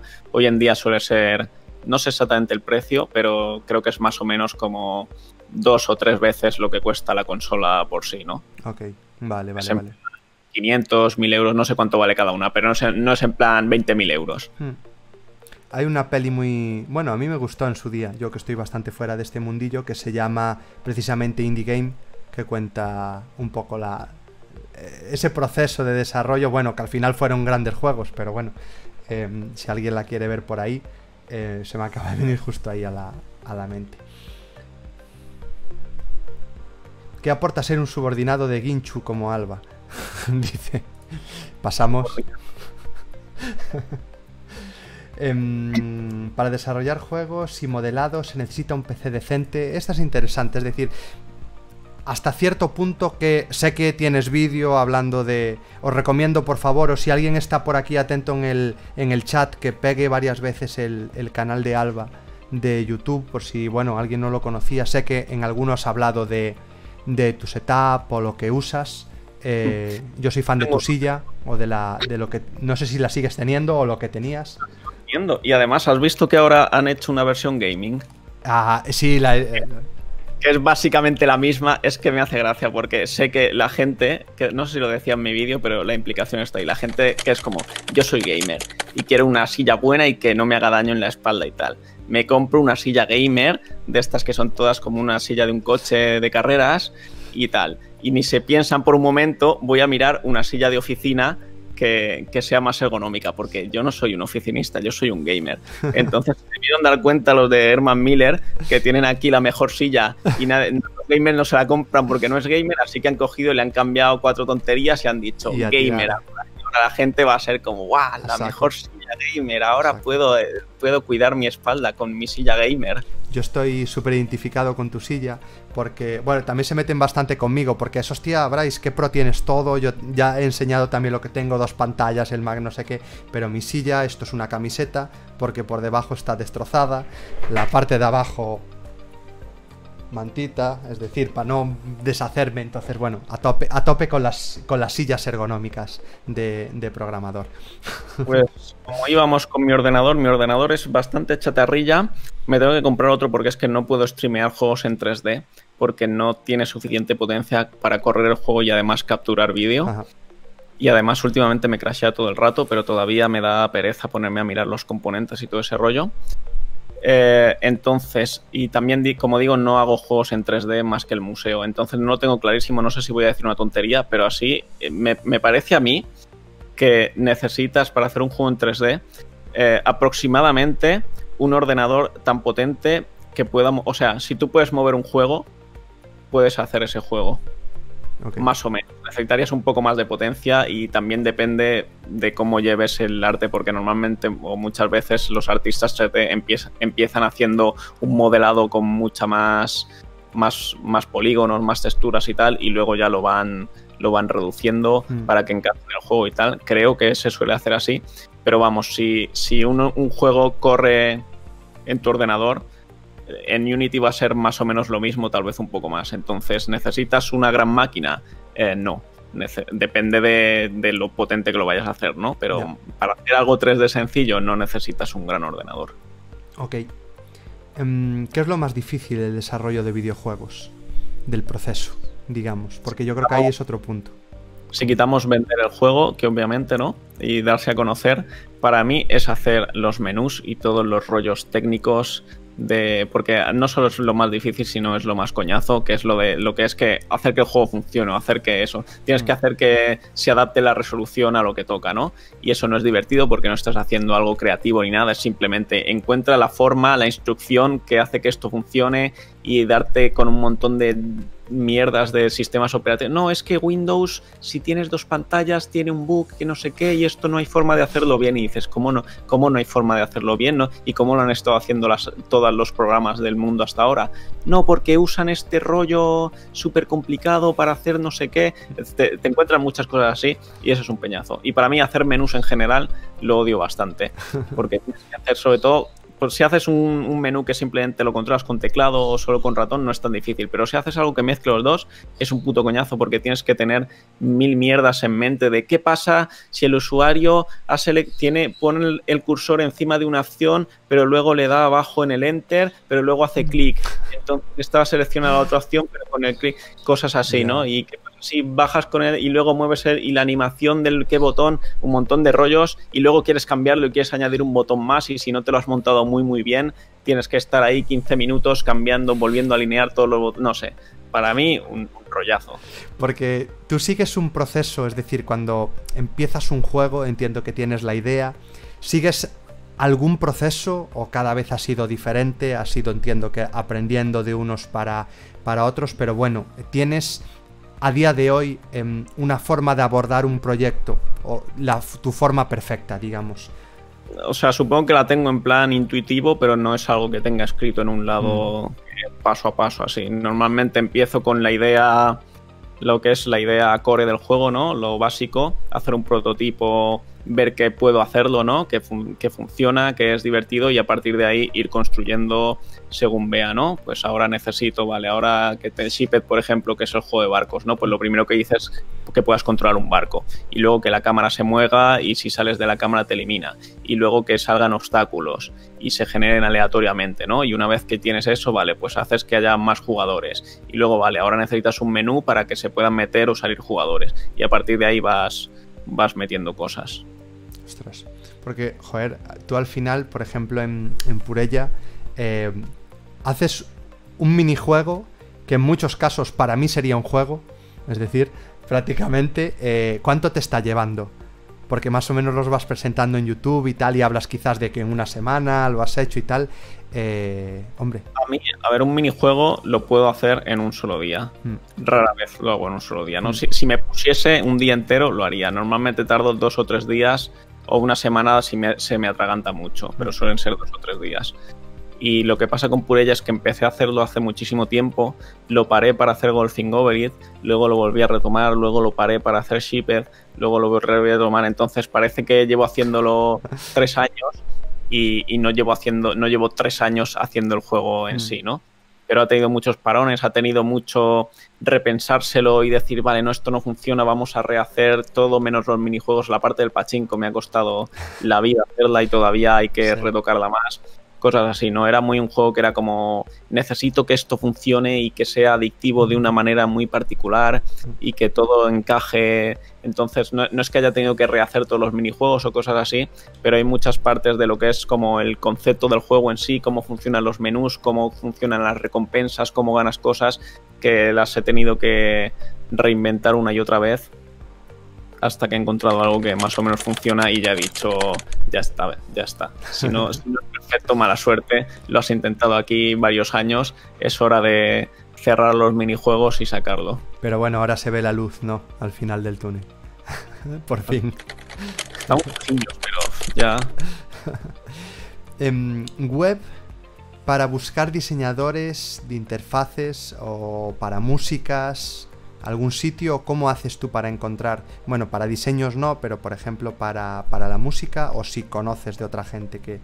a mí normalmente hasta ahora ha sido porque he tenido ya el contacto antes de tener que buscarlo. Hmm. Si fuese a buscar probablemente iría a Google y escribiría música, pero quieres hacerlo un poco más pro, en Reddit por ejemplo hay algunos subreddits que son de gente ofreciendo sus trabajos en España, bueno, en Twitter mismo puedes probablemente buscar y encontrar algo. Si lo pides, también te llegarán ofertas.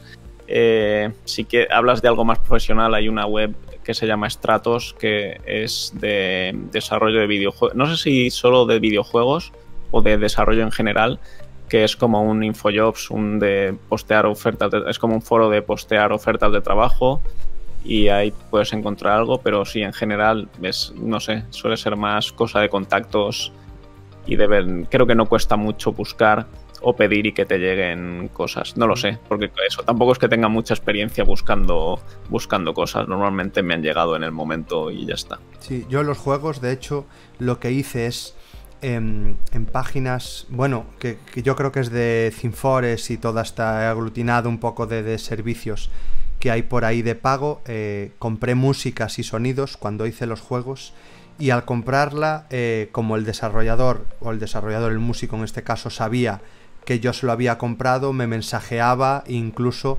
la que visteis, la, la, la, aplicación, el juego de la ballena, esa me la compuso aparte. Me dijo, oye, no la tengo tal, pero si me hablas sobre el juego, porque yo le comprara una para un juego de... No sé si conocéis el, es que a mí me gustaba mucho ese juego para MS2 que se llamaba Gorila, que lanzabas una banana de un lado al otro así de un edificio y tenías que acertar al otro gorila. Y hice uno con barcos piratas, que era disparar el cañón y dar cruzando una isla al otro. Es decir, simplemente un botón. Eh, te, cedo, esta idea para, para Purella. Eh, un botón, el cañón empezaba a hacer así. Cuando le volvías a dar al botón paraba. Y después eh, empezaba una barra de energía lo parabas y hacía parábola. Fin. Fin de la ingeniería del juego.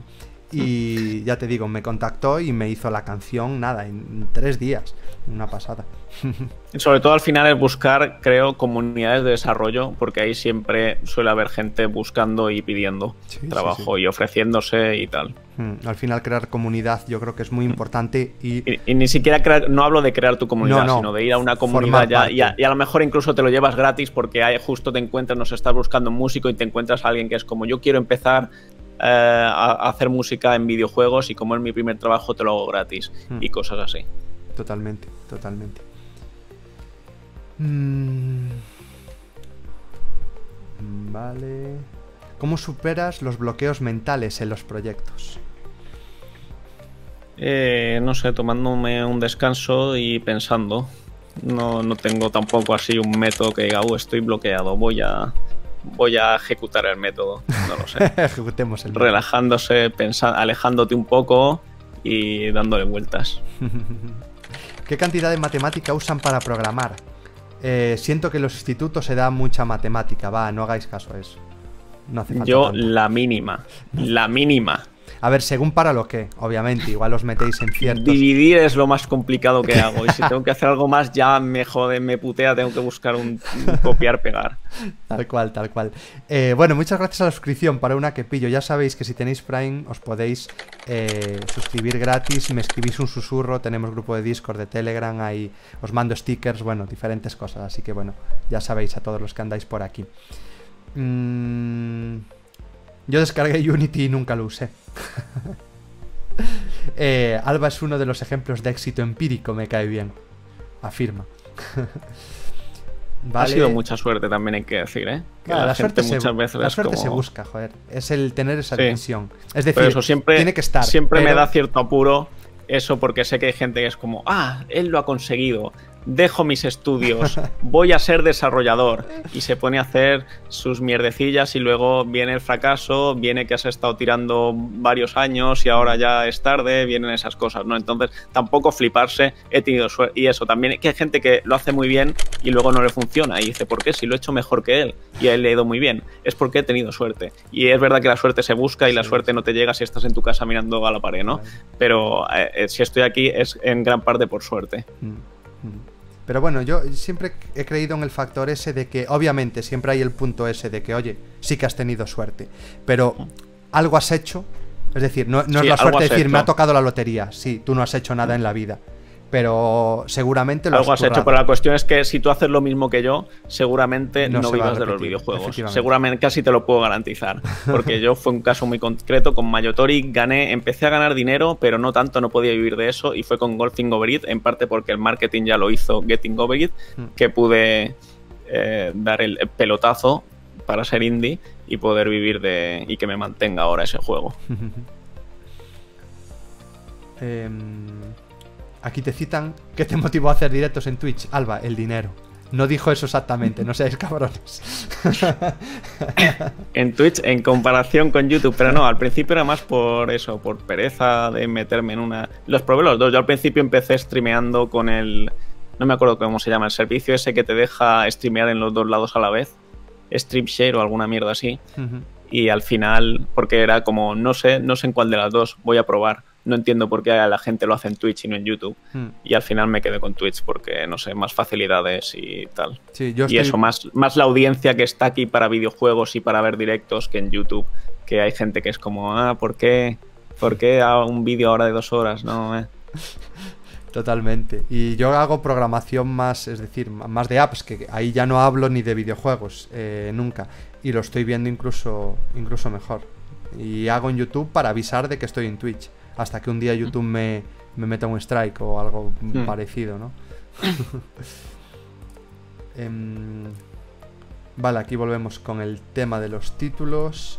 ¿Qué champú usamos? ¿Qué, qué buenas barbas? Perfecto. vale. Qué sorpresa, la semana pasada conocí su canal gracias a una inquietud que tuve eh, utilizando GIMP. El, famoso vídeo de GIMP que, es tienes últimamente porque hemos estado hablando con Guincho y tal de esas cosas en el semi-podcast que estamos haciendo, he mirado las palabras claves que, se, encuentran en mi canal. La primera es Mayo, la segunda es Unity o Unity para retrasados y no sé si la tercera o la cuarta es GIMP, que me sorprendió porque solo tengo dos vídeos de GIMP. Pero bueno, me imagino que, hay, muchos más, mm. muchos más vídeos de GIMP y sin embargo la gente llega. Así que... Yo he dejado de hacer vídeos porque de vez en cuando me hacía algún unboxing así de alguna mierda que me compraba. Pero dije, va, Bryce, tío, haces programación, ¿qué haces? Eh, y, me compraba unos AirPods chinos, ¿no? Unboxing. eh, 100.000 visitas. Y estoy aquí con mis vídeos que, que hacen mil, mil en una semana. Y dije, no, tío, que al final te va a llegar aquí todo el mundo buscando, eh, buscando auriculares y, tú contando con 100 tutoriales que hay ahora de programación. Siempre, nunca se sabe dónde está el punto ese. Em, vale. Me voy a ir a mis preguntas. Ahora que casi llegué al final del chat, que le di bastante caña, voy a ir a lo que yo tenía más o menos apuntado. Em, sobre los juegos, es decir, eh, nos que quedó claro que tenemos que utilizar eh, Unity o bueno, es de las mejores opciones. Pero ¿alguno de tus juegos usa un backend? ¿Usa algo más que no sea el, propio juego? Mis juegos no, ninguno. Vale. Em, y, no quiero meterme ahí, y no, si es posible. Y no quieres pelearte, es justo lo que decía, porque al final si e, somos uno solo haciendo todo, eh, hmm. tener que manejar tantos puntos, porque claro, ya no solo está pensar, pensar en Alba, él hace sus juegos pero es otra pregunta que yo tenía por aquí apuntada. Al final él no deja de ser streamer divulgador, llamar lo que, lo que queráis, pero una pseudo personaje público, sin ofender, pero bueno, que estás presente en, redes. Eh, hay que atender muchas cosas y al final si los proyectos te quieres ir algo muy muy grande, eh, te puede acabar la, te puede ir la vida en, ello. Y de ahí em, yo lo que quería preguntar es Em, tú estás muy metido en temas YouTube, temas Twitch. Em, ¿Te ha ayudado? Yo creo que es que sí, pero bueno, ¿hasta qué punto crees que te ha ayudado? ¿Me ha ayudado en plan a qué?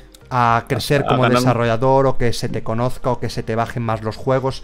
Si ha tenido que influir eso o no, o simplemente es otra línea que tienes tú de negocio, llamémosle. Obviamente sí que. Me ha voy a decir que me ha frenado bastante en el desarrollo porque ahora le tengo que dedicar más tiempo a tener que mantener el canal. Y además es como que siento más presión porque el canal tienes que subir un vídeo cada semana y haces un vídeo bueno y que tiene muchas visitas y piensas ahora no puedo bajar el nivel porque van a decepcionar y hay que hacer el siguiente vídeo, ¿no? Y es como que no puedes dejar de subir vídeos a semana porque entonces te castiga el algoritmo, mientras que el desarrollo es como, bueno, ya cuando se termine ya sale, ¿no?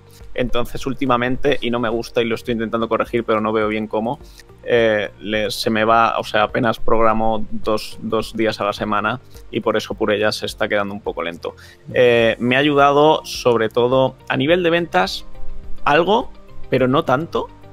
Eh, porque es lo que digo, la gran mayoría de mis ventas vienen de Steam y de Golfing Over en particular, y las de Golfing vienen de Corea del Sur y eso ha seguido siendo así. Se habrán vendido más, obviamente, porque ahora más gente conoce mi juego y tal, pero no es una diferencia muy notable. No me he hecho rico, ni mucho más rico ni nada. Bueno, gano, hablo de los juegos, ¿no? Gano ahora un, sueldo, un sueldo extra, un sueldo no, un extra de YouTube por la publicidad y todo eso. Pero los juegos en sí, no, no hay. Se vende, es lo que digo, se venderán un poco más, pero no es. Si miras las gráficas, si yo te pusiese todas las gráficas, no dirías aquí empezó YouTube. Ya. No se ve. Ni dirías ahora vendes mucho más, a lo mejor vendo 5% más que a lo mejor antes de YouTube vendía Mayotori, no sé, 6 copias al día y ahora vende 7, 8, tal vez. No lo sé, pero eso no es un cambio brutal. Es orgánico. Sin embargo. Mm. Para, lo que sí me ha servido es para los lanzamientos. El lanzamiento de Shipped, por ejemplo, que lo hice cuando ya tenía YouTube, ahí sí que ya, en vez de ser estoy tirándolo un poco aquí al vacío, intentando que contactar con youtubers y que alguien me haga caso, tal, ahí sí que es más fácil simplemente hacer un vídeo o varios vídeos diciendo sale el juego mañana. Compraoslo si me queréis apoyar o si os gusta. Y entonces la gente el primer día está ahí y se lo compran y dejan una review y entonces eso te ayuda mucho más que cuando lo tienes que hacer ahí tú solo y además es deprimente porque lo sacas y vendes 10 copias el primer día y dices, guau, ¿para qué? todo eso en ese sentido muchísimo más fácil. Y claro, eh, son todo ventajas, ¿no? Ah, excepto lo del tiempo que le tienes que dedicar, eh, me ha ayudado, pero sí, lo que en resumen eso, no es que venda muchísimo más y no tengo una forma de medir exactamente cuántas ventas vienen de YouTube y cuántas no, pero no ha alterado, eh, sobre todo por, por Golfing Over Si no fuese por Golfing Over igual te diría, sí, ahora me ha ayudado bastante, ¿no? Porque obviamente de pasar a no vendo apenas porque no se me conoce, a pasar a me conocen 200.000 personas, pues habría un cambio, ¿no? Hmm. pero no me. Tal como he llevado mi trayectoria, no, no se nota muchísimo a nivel de ventas pero sí a nivel de apoyo y todo esto, que al final en el próximo es lo que espero que salve Purella, es el apoyo que pueda tener de lanzamiento que no tendría, especialmente en una app para móviles, si no fuese por el canal. En el beta testing ya lo, viste, ¿no? en el, exacto, también. Si antes, si hubiese querido que alguien me...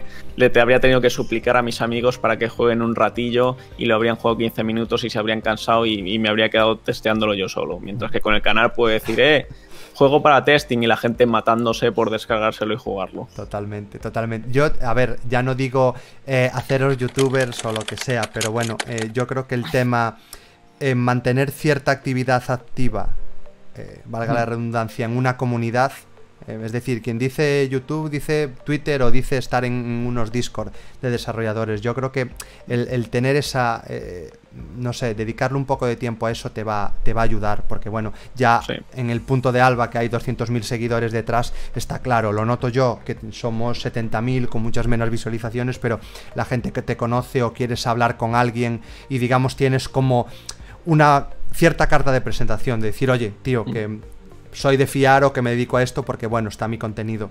Eh, hombre, puede ser un, buen punto. Porque yo por lo menos en su día, con estos juegos, eh, cuando yo los lancé, o con las apps, sí que eh, intenté en el último, en el, de la ballena, hacer campaña de marketing, digamos con tiempo.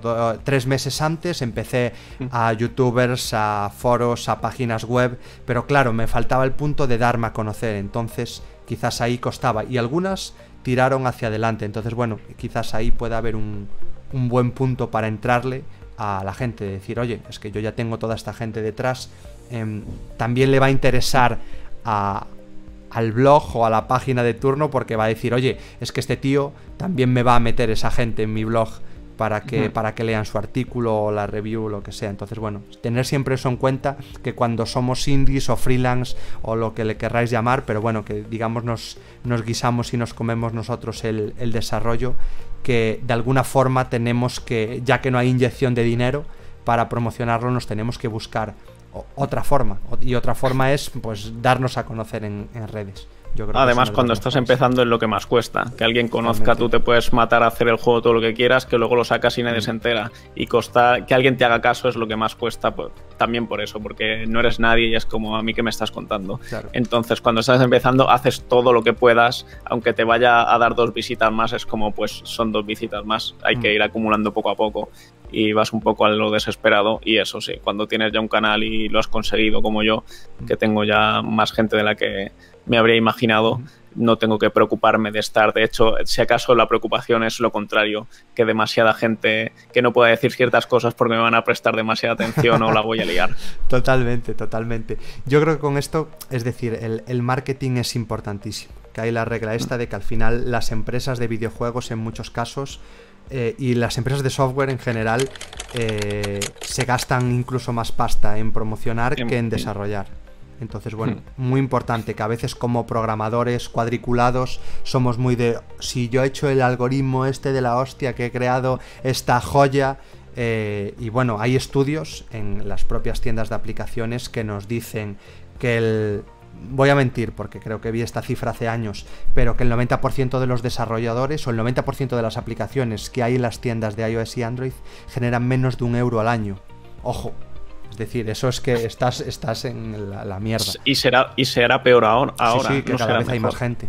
Totalmente, totalmente. Entonces, bueno, siempre tener en mente eso de que, oye, el desarrollo está muy bien, pero bueno, darle cariño también a otras cosas o que vuestra app sea muy buena, pensar en la funcionalidad, pensar en cómo venderla y dedicarle también tiempo o intentar buscar, si vosotros os veis incapaces, pues bueno, un socio o lo que sea para lanzar para lanzar vuestra vuestra idea. es uno de los motivos de lo que conviene empezar por un juego pequeño y no por el juego de tus sueños. No es solo porque es más fácil y lo vas a poder terminar y tal, es porque si haces el juego de tus sueños y lo sacas, eh, es muy probable que nadie se entere y nadie se lo compre, aunque a ti te parezca que es muy bueno. Salen, cada día salen juegos buenos que venden 100 unidades en Steam Mm. y se olvida la gente de ellos y nadie se entera de que han salido. Entonces es mejor ir cultivándote, aunque, ten- aunque sea ganarte 10, 50 fans, para que cuando saques un juego más importante estén ahí y te pu- puedan hablar, que haya alguien a quien le importe, hable un poco de ti, que lanzar el juego al vacío y que a- años tal vez de desarrollo se vayan para nada. Mm, Eso es, eso es. Te dicen... donde lo leí, Alba, ¿te ves convirtiéndote en un publisher dentro de unos 10 años? No lo creo. Bueno, estaría bien, estaría bien, que luego tú fueras el nuevo ketchup. te queremos, Vanessa Mayonesa, te dicen aquí a continuación. Ay, qué bueno.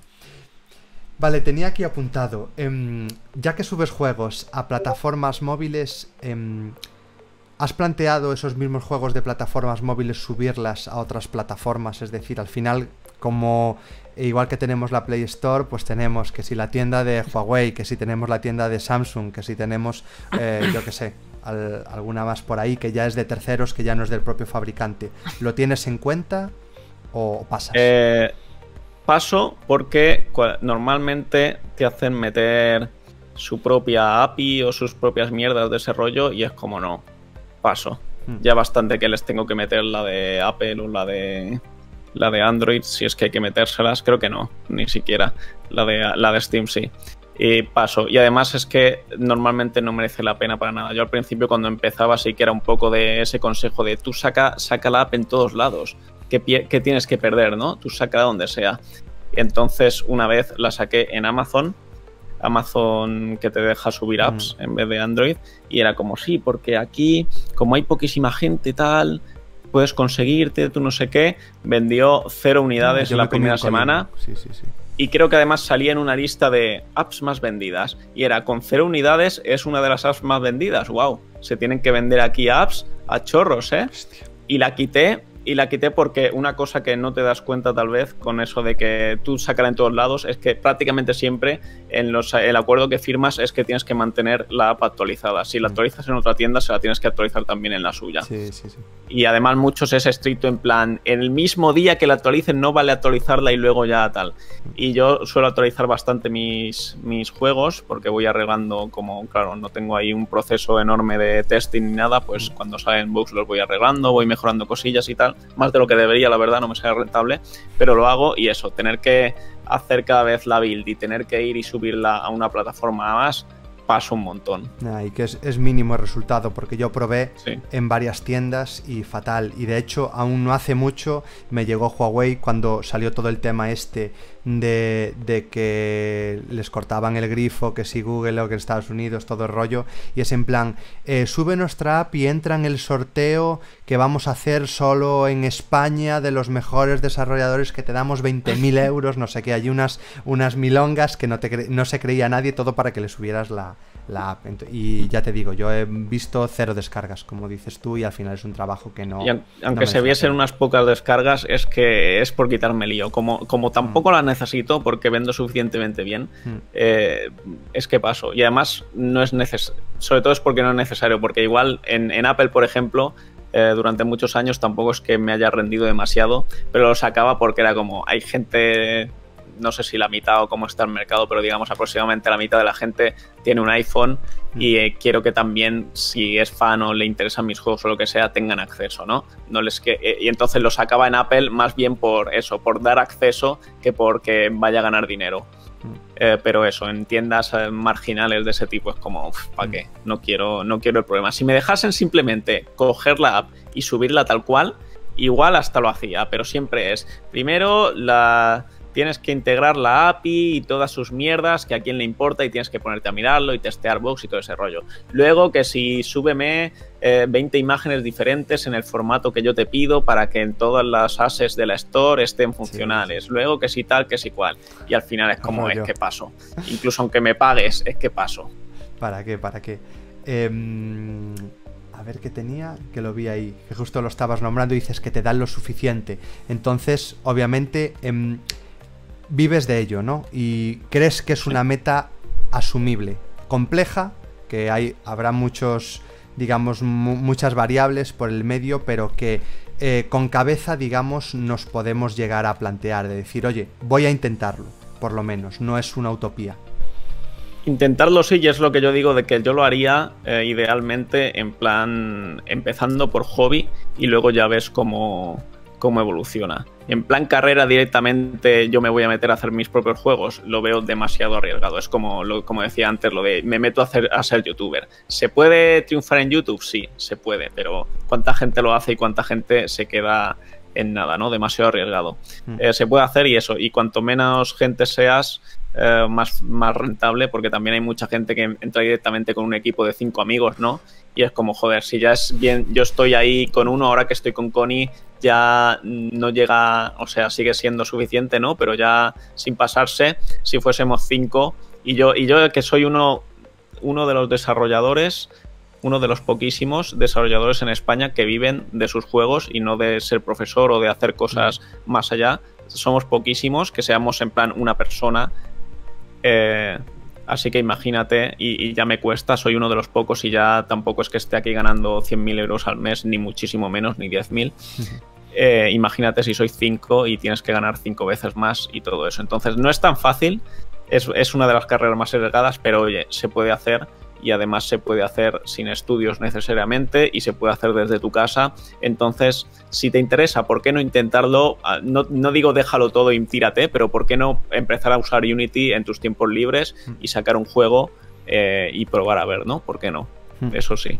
Nunca, digamos, eh, te ha entrado el gusanillo de decir, joder, yo ahora que más o menos controlo, no sé qué, trabajar con más gente un equipo, porque entiendo que es lo que dices, al final tu núcleo de trabajo siempre ha sido una persona, dos personas, pero colaborar con más gente o incluso en alguna empresa profesional sin desvirtuar a la tuya, pero otro tipo de, empresa, eh, ¿te lo has mm. planteado? ¿Te gustaría en un futuro?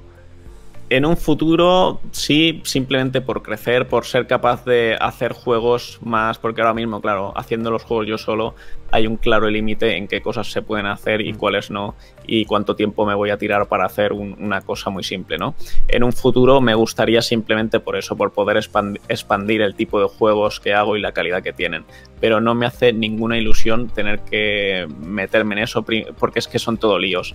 Primero buscar la gente, el trato con la gente, el repartir las tareas, las responsabilidades. Yo sobre todo lo que me da miedo es que ahora mismo yo, si no sé qué hacer, por lo que sea, no estoy haciendo ahora mismo en Purella y dijese, no sé cuál es el próximo paso que tengo que dar.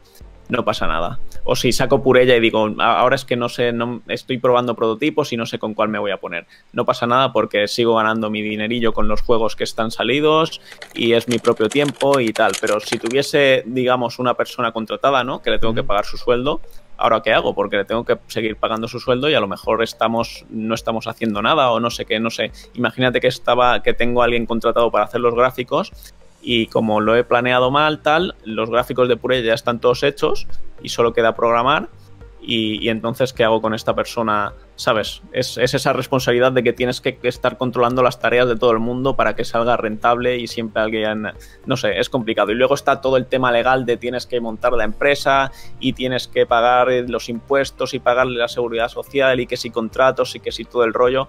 No me hace ninguna ilusión todo ese rollo, pero algún día probablemente es el, es el objetivo, ¿no? Sobre todo el objetivo sería, yo al principio no quería ser programador, yo solo quería ser, diseñador de videojuegos, pero como no puedes entrar directamente de diseñador, fue como, pues te lo tienes, si quieres diseñar un juego, te lo tienes que programar tú.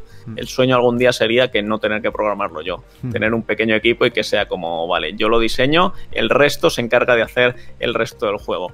Así que en principio ese sería el sueño, pero de momento lo veo, no me lo planteo a corto plazo, porque lo veo muy complicado. Es que hay el punto ese de cuando ya tienes la gente suficiente, tú ya puedes hacer lo que quieres.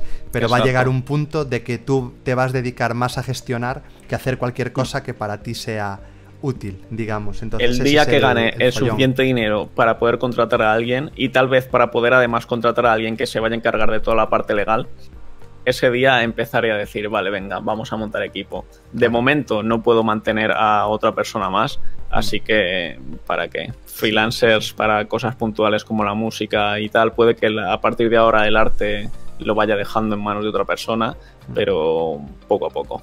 Nada, la libertad, al final. Yo, lo, yo también me lo planteé así y al final lo que hice es formar parte de equipos, tener colaboradores, porque llegas un momento que a mí me encanta programar y sé, por como yo ya trabajaba antes en las empresas, que a lo que te empujan es a gestionar.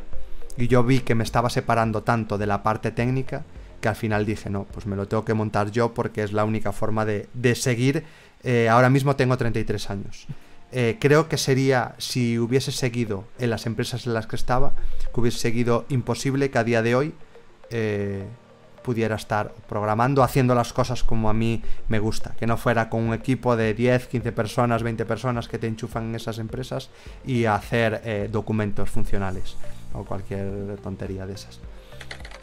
Voy a volver al chat, que ya más o menos lo tenemos actualizado. Ah, ah. Bueno, te dicen que mm, eh, conocieron a Ginchu después de conocerte a ti, que tenéis mucho carisma y que comunicáis muy bien. Eh, me río bastante con sus vídeos. Bueno, eh, gracias. Bien, bien. Buena, buena opinión. si no me interesa el desarrollo de videojuegos, le seguiría por su manera de ser. hay mucha gente, en cada vídeo que subo hay alguien, normalmente varios, que comentan, no me interesan nada los videojuegos, pero te veo igual o qué hago viendo este vídeo si no me interesa, una, si no sé ni qué es Unity.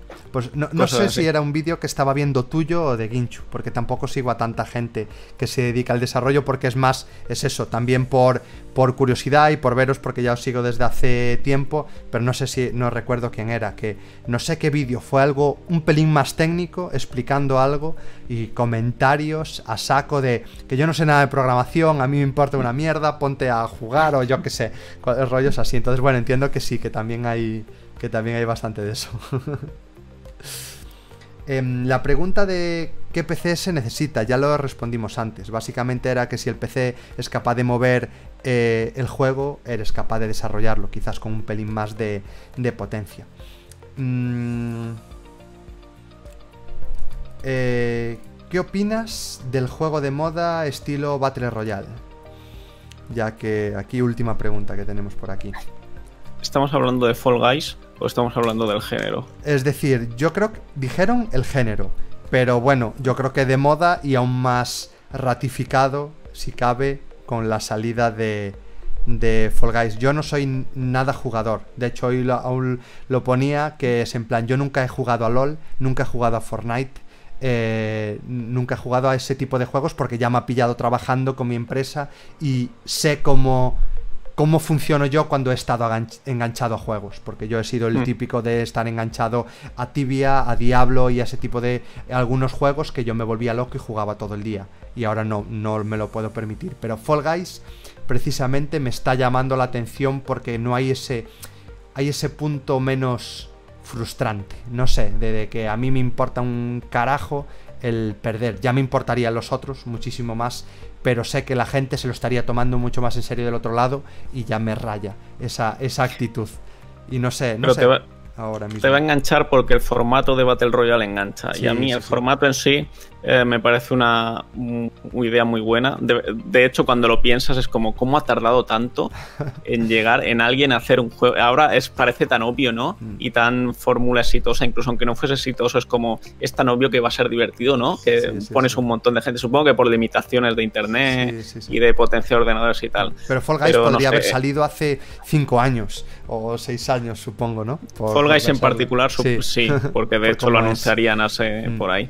Pero eso, el género en sí eh, es muy interesante, tiene cosas muy, muy interesantes. Eso de que sea, estamos acostumbrados con los videojuegos a que las competiciones muchas veces no son competiciones reales, porque es como eh, tienes que ganar porque si no ganas no te sientes bien. Entonces los juegos siempre de algún modo consiguen que ganes y si incluso en multijugadores es como, bueno, pues te ponemos mm. con alguien que es peor que tú para que puedas ganarle y te sientas bien y tal. Y en los Battle Royale es como, no, no, aquí entran 100 y gana uno ya está. Y a lo mejor es incluso depende de la suerte o lo que sea, ¿no? Pero le da mucha, mucha excitación y mucho, es como que hay mucho en juego. Hmm. Y, es muy excitante y además te engancha porque cada partida, incluso aunque estés jugando algo que parecería una locura, como lo de que haya un solo mapa en un juego de Battle Royale, ¿no? Al principio dirías, pero ¿qué me estás contando? ¿Un solo mapa? ¿En qué año estamos? ¿Un solo mapa? ¿qué tontería es esta? Sin embargo, como cada vez es diferente, aunque es igual pero diferente, porque como todos los jugadores son, son diferentes, mm. eh, puedes aterrizar en otro lado, la, tienes unas posibilidades diferentes, ¿no? Es cada vez es como una nueva posibilidad de que esta vez, y además mm. es sobre todo también psicológicamente eh, el hecho de que sea en parte aleatorio porque te toca con diferentes personas, va a ser, no es como un juego de un solo jugador, no es como Super Mario que es como o, puedes pasártelo o no puedes, no va, no mágicamente te lo vas a pasar esta vez, vas a tener que aprender. En un Battle Royale es como, ¿y si? ¿Y si esta vez encuentro el arma ahí de cinco estrellas según aterrizo? ¿Y si esta vez nadie me mata hasta la mitad de la partida y consigo el no sé qué? Entonces ese tipo de juegos enganchan mucho porque en cuanto muere, igual no has llegado nunca ni a la mitad de los mejores, pero en cuanto te matan es como, venga, otra más porque ¿y si? ¿Y si esta es la buena? Es que, no sé si me equivoco, pero el LOL, ¿cuántos años lleva? Puede llevar 10 años ya. ¿O estoy flipando? Podría, mm, podría. si no lleva 10, debe estar cerca más o, algo menos, parecido, porque, yo me acuerdo que estaba yo empezando a trabajar, igual era. Yo llevo trabajando casi 11 años. Eh, y entonces yo coincidí en el piso de estudiante aún durante mi primer año de trabajo. Y mis compañeros, mis otros dos compañeros, aún estaban estudiando. Y salió el LOL, y si no era el LOL, era el primero que más o menos andaba de ese palo. Y me decían, tío, si échate una partida que son 20 minutos. Y yo le dije, ningún juego eh, nadie que diseñe un juego lo ha diseñado para que juegues 20 minutos eh, de este tipo. En plan, juegos que ya ves que son mm. grandes. Entiendo que otros juegos sí que son más casual. Y ellos que no, que no. Y joder, 10 horas. Y nunca me metí. Es que nunca eché ni una partida porque sé. Como el, meme este de si ya saben cómo me pongo para que me invitan, pues igual. No, yo sé, lo que podría pasar y yo que soy un tío que trabaja en su casa, podría dejar todo y, cuando me llamaran quemar el móvil y pasar de la gente por ponerme 11 años. Pues mira, es que me coincidió tal cual con mi primer año de, trabajo y ya nunca me quise meter porque dije, va, es que ni, arranco, tengo aquí la primera oportunidad de currar y ya me voy a hundir en el primer, en el primer año. Ya que entramos por aquí en tema videojuegos, ¿género favorito?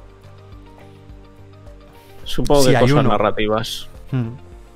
¿Tema aventura gráfica o.? No tanto aventura gráfica porque no es, no es los puzzles. O sea, a mí idealmente son los juegos tipo los que hace Quantic Dreams.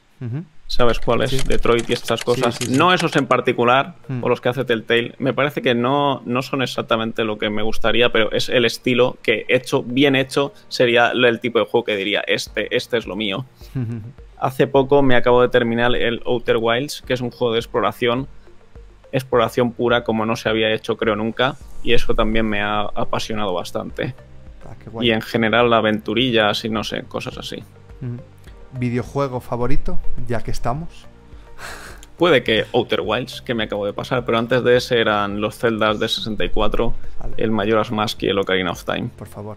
seguido de Ico, seguido de Shadow of the Colossus. Hostia. vale. Me parece bien, me parece bien.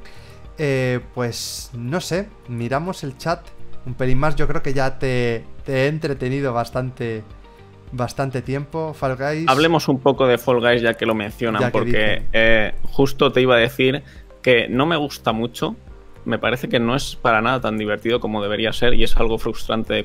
El otro día justo lo hablaba con Guincho en su mm. stream. Llevamos tres días o una semana o tal, ¿no? la cuestión es que no me, no me lo paso demasiado bien jugando y aún así me quedo enganchado por lo que te decía antes. Es como, vale, esta no ha ido muy bien, pero la siguiente. ¿Cuánto dura la partida, más o menos? Pues igual no llega a 10 minutos ganando tú. y normalmente no ganas tú. Y aún así es como, precisamente tal vez al ser más rápidas es como, venga, esta, venga, pero no sé, tiene muchos problemas que lo hacen no tan divertido como la idea, como lo, lo divertida que parece la idea. Pero eso, el simple género. Y ni siquiera es tan Battle Royale, ¿no? Lo de Battle Royale lo han metido un poco con calzador, porque en realidad estás haciendo rondas y en las rondas te puedes morir, pero no te eliminas porque es, va de clasificarse y se tienen hasta que no se clasifiquen 40 personas, a lo mejor no termina. E, es muy no Battle Royale, es muy marketing lo de Battle Royale, pero sigue teniendo eso de que empiezan 60, gana uno y eso, al final te engancha, incluso aunque no te, aunque no te guste tanto. Me parece bien. Yo hoy lo ponía en, Twitter, que me estaba llamando la atención, pero precisamente yo creo que también por eso está ganando muchos jugadores, porque al final sí que eh, está en todos los lados. Y yo que no soy un tal, al final me vi dos vídeos y dije, va, yo lo jugaría, pero tengo Mac. Entonces, bueno, yo ya voy con limitaciones. Ah. Ya me, me intento, no sé, curar para no, para no meterme en problemas, ya tengo Mac, entonces no puedo hacer, no puedo hacer nada. Pero sí, parece que la está, la está petando bastante. Mm, ¿Cuáles serían los juegos que consideras mejores eh, diseñados que has jugado? ¿Los que ya has dicho o...? Los que ya he dicho, que por eso son mis favoritos, vaya. Mm, al final tienen de, de todo. Dicen que siente bastante injusto el juego. Eh, es una mezcla entre humor amarillo y Grand Prix. O sea, el juego es injusto por diseño. Claro. Y hay partes que son injustas bien y hay partes que son injustas mal. Porque, por ejemplo, todo el mundo se queja. No, sé si lo, conoces más o menos cómo funciona y tal. Un pelín, nada, me vi un vídeo, pero poco más, poco más. Bueno, eso, vas haciendo rondas, ¿no? Y hay, por ejemplo, algunas rondas que son por equipos, ¿no? y prácticamente a nadie. desde luego no vas a encontrar una sola persona que diga, son mis juegos favoritos hay gente que dice no están tan mal, hay gente que dice arruinan el juego. Pues creo que recientemente, es que no la vi entera, pero creo que han hecho una entrevista a los desarrolladores diciendo básicamente que no van a quitar eso porque lo necesitan para, para darle, para que no gane siempre el mejor y no sé qué rollos. Y, y eso, lo que iba diciendo, hay cosas que son injustas o aleatorias que dices bien, porque es es parte de la gracia del juego, ¿no? Como en los juegos estos de televisión a los que imita, que de repente viene una bola o te empuja alguien y te caes del escenario, lo que sea, ¿no? Eso no es que sea 100% justo ni de habilidad ni nada, pero esa es la gracia, ¿no? Que no es tanto de habilidad como de recorrer el escenario y pasan cosas locas. Y hay cosas que es como, es que esto está mal diseñado, este, ¿a quién se le ha ocurrido esto? Que es como, tira un dado, los juegos por equipo normalmente es, yo preferiría que saliese un dado en la pantalla, rodase y si no sale un 6, me eliminasen, lo preferiría, nos ahorraríamos todos un mal trago de estar dos minutos intentando empujar una puta bola que va donde le da la gana. Ya te cuento. Eh, pero sí, eso. Ya, ya, ya. Está, está divertido en general, hay gente a la que le gusta mucho, a mí no me no me. Es como que me intento obligar un poco a jugarlo ahora en plan, venga, píllale, la, píllale el gusto, que tiene mm. que estar divertido. Y, no lo, y es que no lo disfruto, me parece más frustrante y más todo el rato pensando, pero tío. Y, aún así me, engancha por eso, por el, formato. Ya. Como desarrollador de juegos entiendo que tú al final juegas porque te gusta jugar, pero también pones el ojo en lo que estás viendo, digamos, obviamente. Eh, ¿Dedicas mucho tiempo a jugar al día? No, de hecho me tengo que forzar a jugar a juegos porque si no pasan temporadas que es como este mes no he jugado a nada más que mm. en los directos que juego a los juegos de mis subs. Y es como también como desarrollador tengo que estar más o menos al día o conviene estar más o menos al día de los juegos últimos que han salido y mm. los que más eh, buenas críticas se llevan y tal, ¿no? Hay que probarlos, saber qué es lo que están haciendo bien y todo ese rollo y, no juego tanto como me gustaría. Mm porque preguntan aquí que qué opinas de juegos estilo pues The Witcher, el, el nuevo Cyberpunk o algunos de estos que ya son juegos muy muy top. Mm, no me entusiasman muchísimo, la verdad. Ninguno de estos no soy podría salir el Cyberpunk mañana y me daría lo mismo. No soy de los que están ahí, oh, el The Witcher he jugado al primero y no me y no me y tampoco me entusiasma mucho el tercero, no sé, en parte porque son juegos que requieren muchas horas y no tengo tantas horas y en parte porque son todos hasta cierto punto iguales y, y, te hacen gastar mucho el tiempo y no estoy diciendo con eso que no sean muy divertidos o no te puedan absorber y pasar una aventura increíble, pero suelen estar diseñados para eso, para gastar tu tiempo y que si misiones secundarias y que si ve de acá para allá y a mí me gusta más centrarme en juegos que sean más como unas pocas horas, más contenido bueno concentrado y no tanto el mundo abierto de vete para acá y vete para allá. Hmm.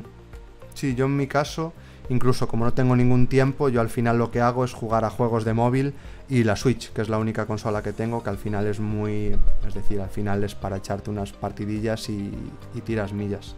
Pero sí, bueno, al final sí que esos juegos están pensados para comerte muchas horas y, después sí ya, porque los acabas y obviamente, claro, han, valido mucha pasta desarrollarlos, pero bueno, no tampoco son los juegos que más me, me llama la atención.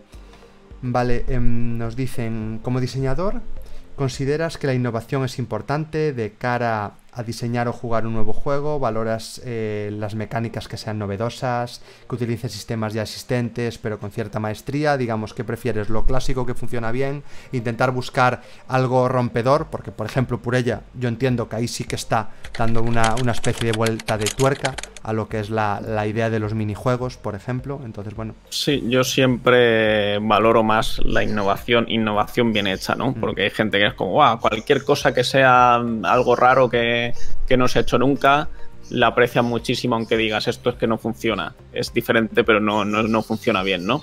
A mí cosas novedosas, pero que funcionan bien, me entusiasman y, en parte no juego a muchos de estos juegos famosos que se dice porque es lo mismo o demasiado parecido a otras cosas que he jugado. Yo he jugado muchos videojuegos y casi todo lo que juego, sobre todo que me envían mis subs o juegos casi más del montón, es que digo, esto ya lo he jugado. Con otros gráficos y otra historia, pero ya lo he jugado. Hmm.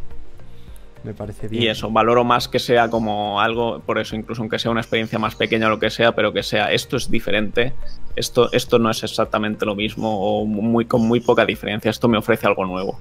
Hmm. Y yo creo que ya un poco por ir cerrando, tienes, ya que Purella está ahí para salir, ya tienes en mente tu próximo juego, eh, ¿se sabe algo? Más o no está, no he hablado mucho de él, pero probablemente sea haga una novela visual pero todavía no está, está ahí. Hay, que ver primero cuando. No quiero tampoco ponerme mucho ahora porque luego pasa que te empiezas a, entusiasmar con el nuevo proyecto y, te olvidas del primer del que estás ahora y te desconcentras y te pones a hacer ya en el futuro y es como ya vamos a terminar Purella primero que hay que terminarlo y luego ya veremos el siguiente. una cosa pero sí, siempre cuatro, cuatro juegos en soporte, ojo. Sí, siempre está ya pensado y hay ciertas ganas de ponerse con lo siguiente. Ya, lo, nuevo siempre llama la, la atención. Y bueno, yo ya no tenía más preguntas. Después, bueno, creo que queda alguna pregunta por ahí. Me he saltado preguntas, pero bueno, por centrar un poco el tema. Eh, repetirlo por última vez, por favor. Si no seguíais a Alba, si no lo conocéis, eh, me voy a buscar el. Joder, me voy a buscar el canal. Darme un segundo y lo, lo spameamos aquí un poco. Seguirlo en redes sociales, tenéis ahí cuál es su, su nick y probar sus juegos. Echarle un vistazo a mis juegos, sí, echarle un vistazo, son divertidos, tienen muy buenas reviews, yo la los, mayoría. Yo los tengo y ojo con las reviews, es que, pues no sé cuál era, eh, Golfing eh, Overeat, eh, 500 teníamos Mayotori con 1200 de, de pero de, de, de, un 5 juegos de, a tope en por lo menos en, en, las plataformas de las plataformas móviles. Entonces entiendo que en y mucha gente dice son solo por ser youtuber pero no es verdad. Mayotori lo saqué antes de ser youtuber y ha tenido siempre en torno al 95% de reviews positivas de lo cual estoy bastante orgulloso. Y doy fe, yo los tengo y... Luego ya de Shiped y adelante puedes decir lo que quieras porque ahí ya probablemente. Pero Mayotori al menos prueba de que a la gente le gustaba aunque no me conociese. Totalmente, totalmente.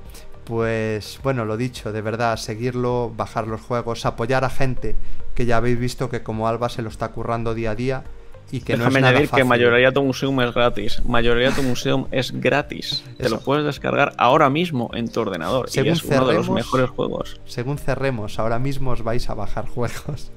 no, de verdad, eh, de verdad muchas gracias por estar aquí y de verdad, joder, apoyemos a los desarrolladores indies, que no todos son grandes empresas, que al final a Alba si lo contratara en otra empresa, a Alba le iba a llegar eh, la centésima parte de lo que la empresa iba a ingresar gracias a él. Entonces, bueno, también fomentemos este tipo de, de negocios y de libertad y de creatividad, porque bueno, si no al final parece que solo hay una opción cuando queremos trabajar o cuando hablamos de programación o cuando hablamos de de videojuegos.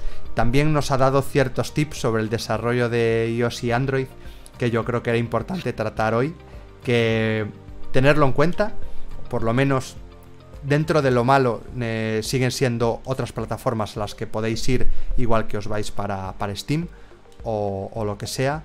Y lo último que ya dicen aquí, y los batidos. Sé que han estado repitiendo lo de los batidos todo el rato, todo el rato, todo el rato. Todo el rato. ¿Pero qué queréis que os diga? ¿Cuál Eso. es la pregunta? No sé. que- Es que la Yo gente la- lo hace mucho, es como, ¿y los batidos? ¿Los batidos qué? He, ¿Qué- he leído qué- de qué? todo. Ya. He leído contenido patrocinado, si de verdad te mantienen, cuánto te pagan. He leído de todas las, todo tipo de preguntas. Bueno, no era el tema tampoco de, no era el tema tampoco de hoy. Así que bueno, de verdad, eh, muchísimas gracias. Seguirlo y para mañana, que seguramente haga otro directo. Os voy a hablar de la mierda esta que me he comprado, que me habéis estado estando preguntando. Entonces igual me saco un directo de la manga y os digo cómo, cómo proteger un pelín más vuestras cuentas con este tipo de cosas. Así que bueno, tenerlo en cuenta. eh, y poquito más. Voy a ver si puedo lanzar una raid, ya que estamos aquí eh, un montón. ¿Conoces a Void Pixel Dev? Por decir algo. Eh, que lo veo aquí. No. Pues eh, yo sigo de vez en cuando a gente, aunque no la controlo mucho, para poder mandar las raid. Así que bueno, ya que estábamos hablando de, de videojuegos, eh, sé que él está creando algo, así que bueno, creo que se la vamos a mandar a él. Y, y poquito más, la voy a ir preparando. De verdad, em, muchas gracias. Muchas gracias por, por estar aquí, Alba. Y bueno, saber que lo subiré a YouTube. No he recortado mucho, pero No, cortaré te el, corta lo que quieras. el eh. error cortaré al principio cuando no se me escuchaba, que tampoco quiero echar tres horas editando un vídeo, lo subo y si lo queréis ver, pues lo ponéis a 2x y ya está. y vamos rápido. Y poquito más. Así que bueno, muchísimas gracias. Voy a arrancar la raid. Y a ver si nos vamos yendo para aquí. Y bueno, mañana atentos también porque bueno, también os diré cuando, cuando hago el directo, que supongo que será un pelín antes que hoy. Así que bueno, muchas gracias y hasta luego. Chao, chao, chao, chao. Adiós.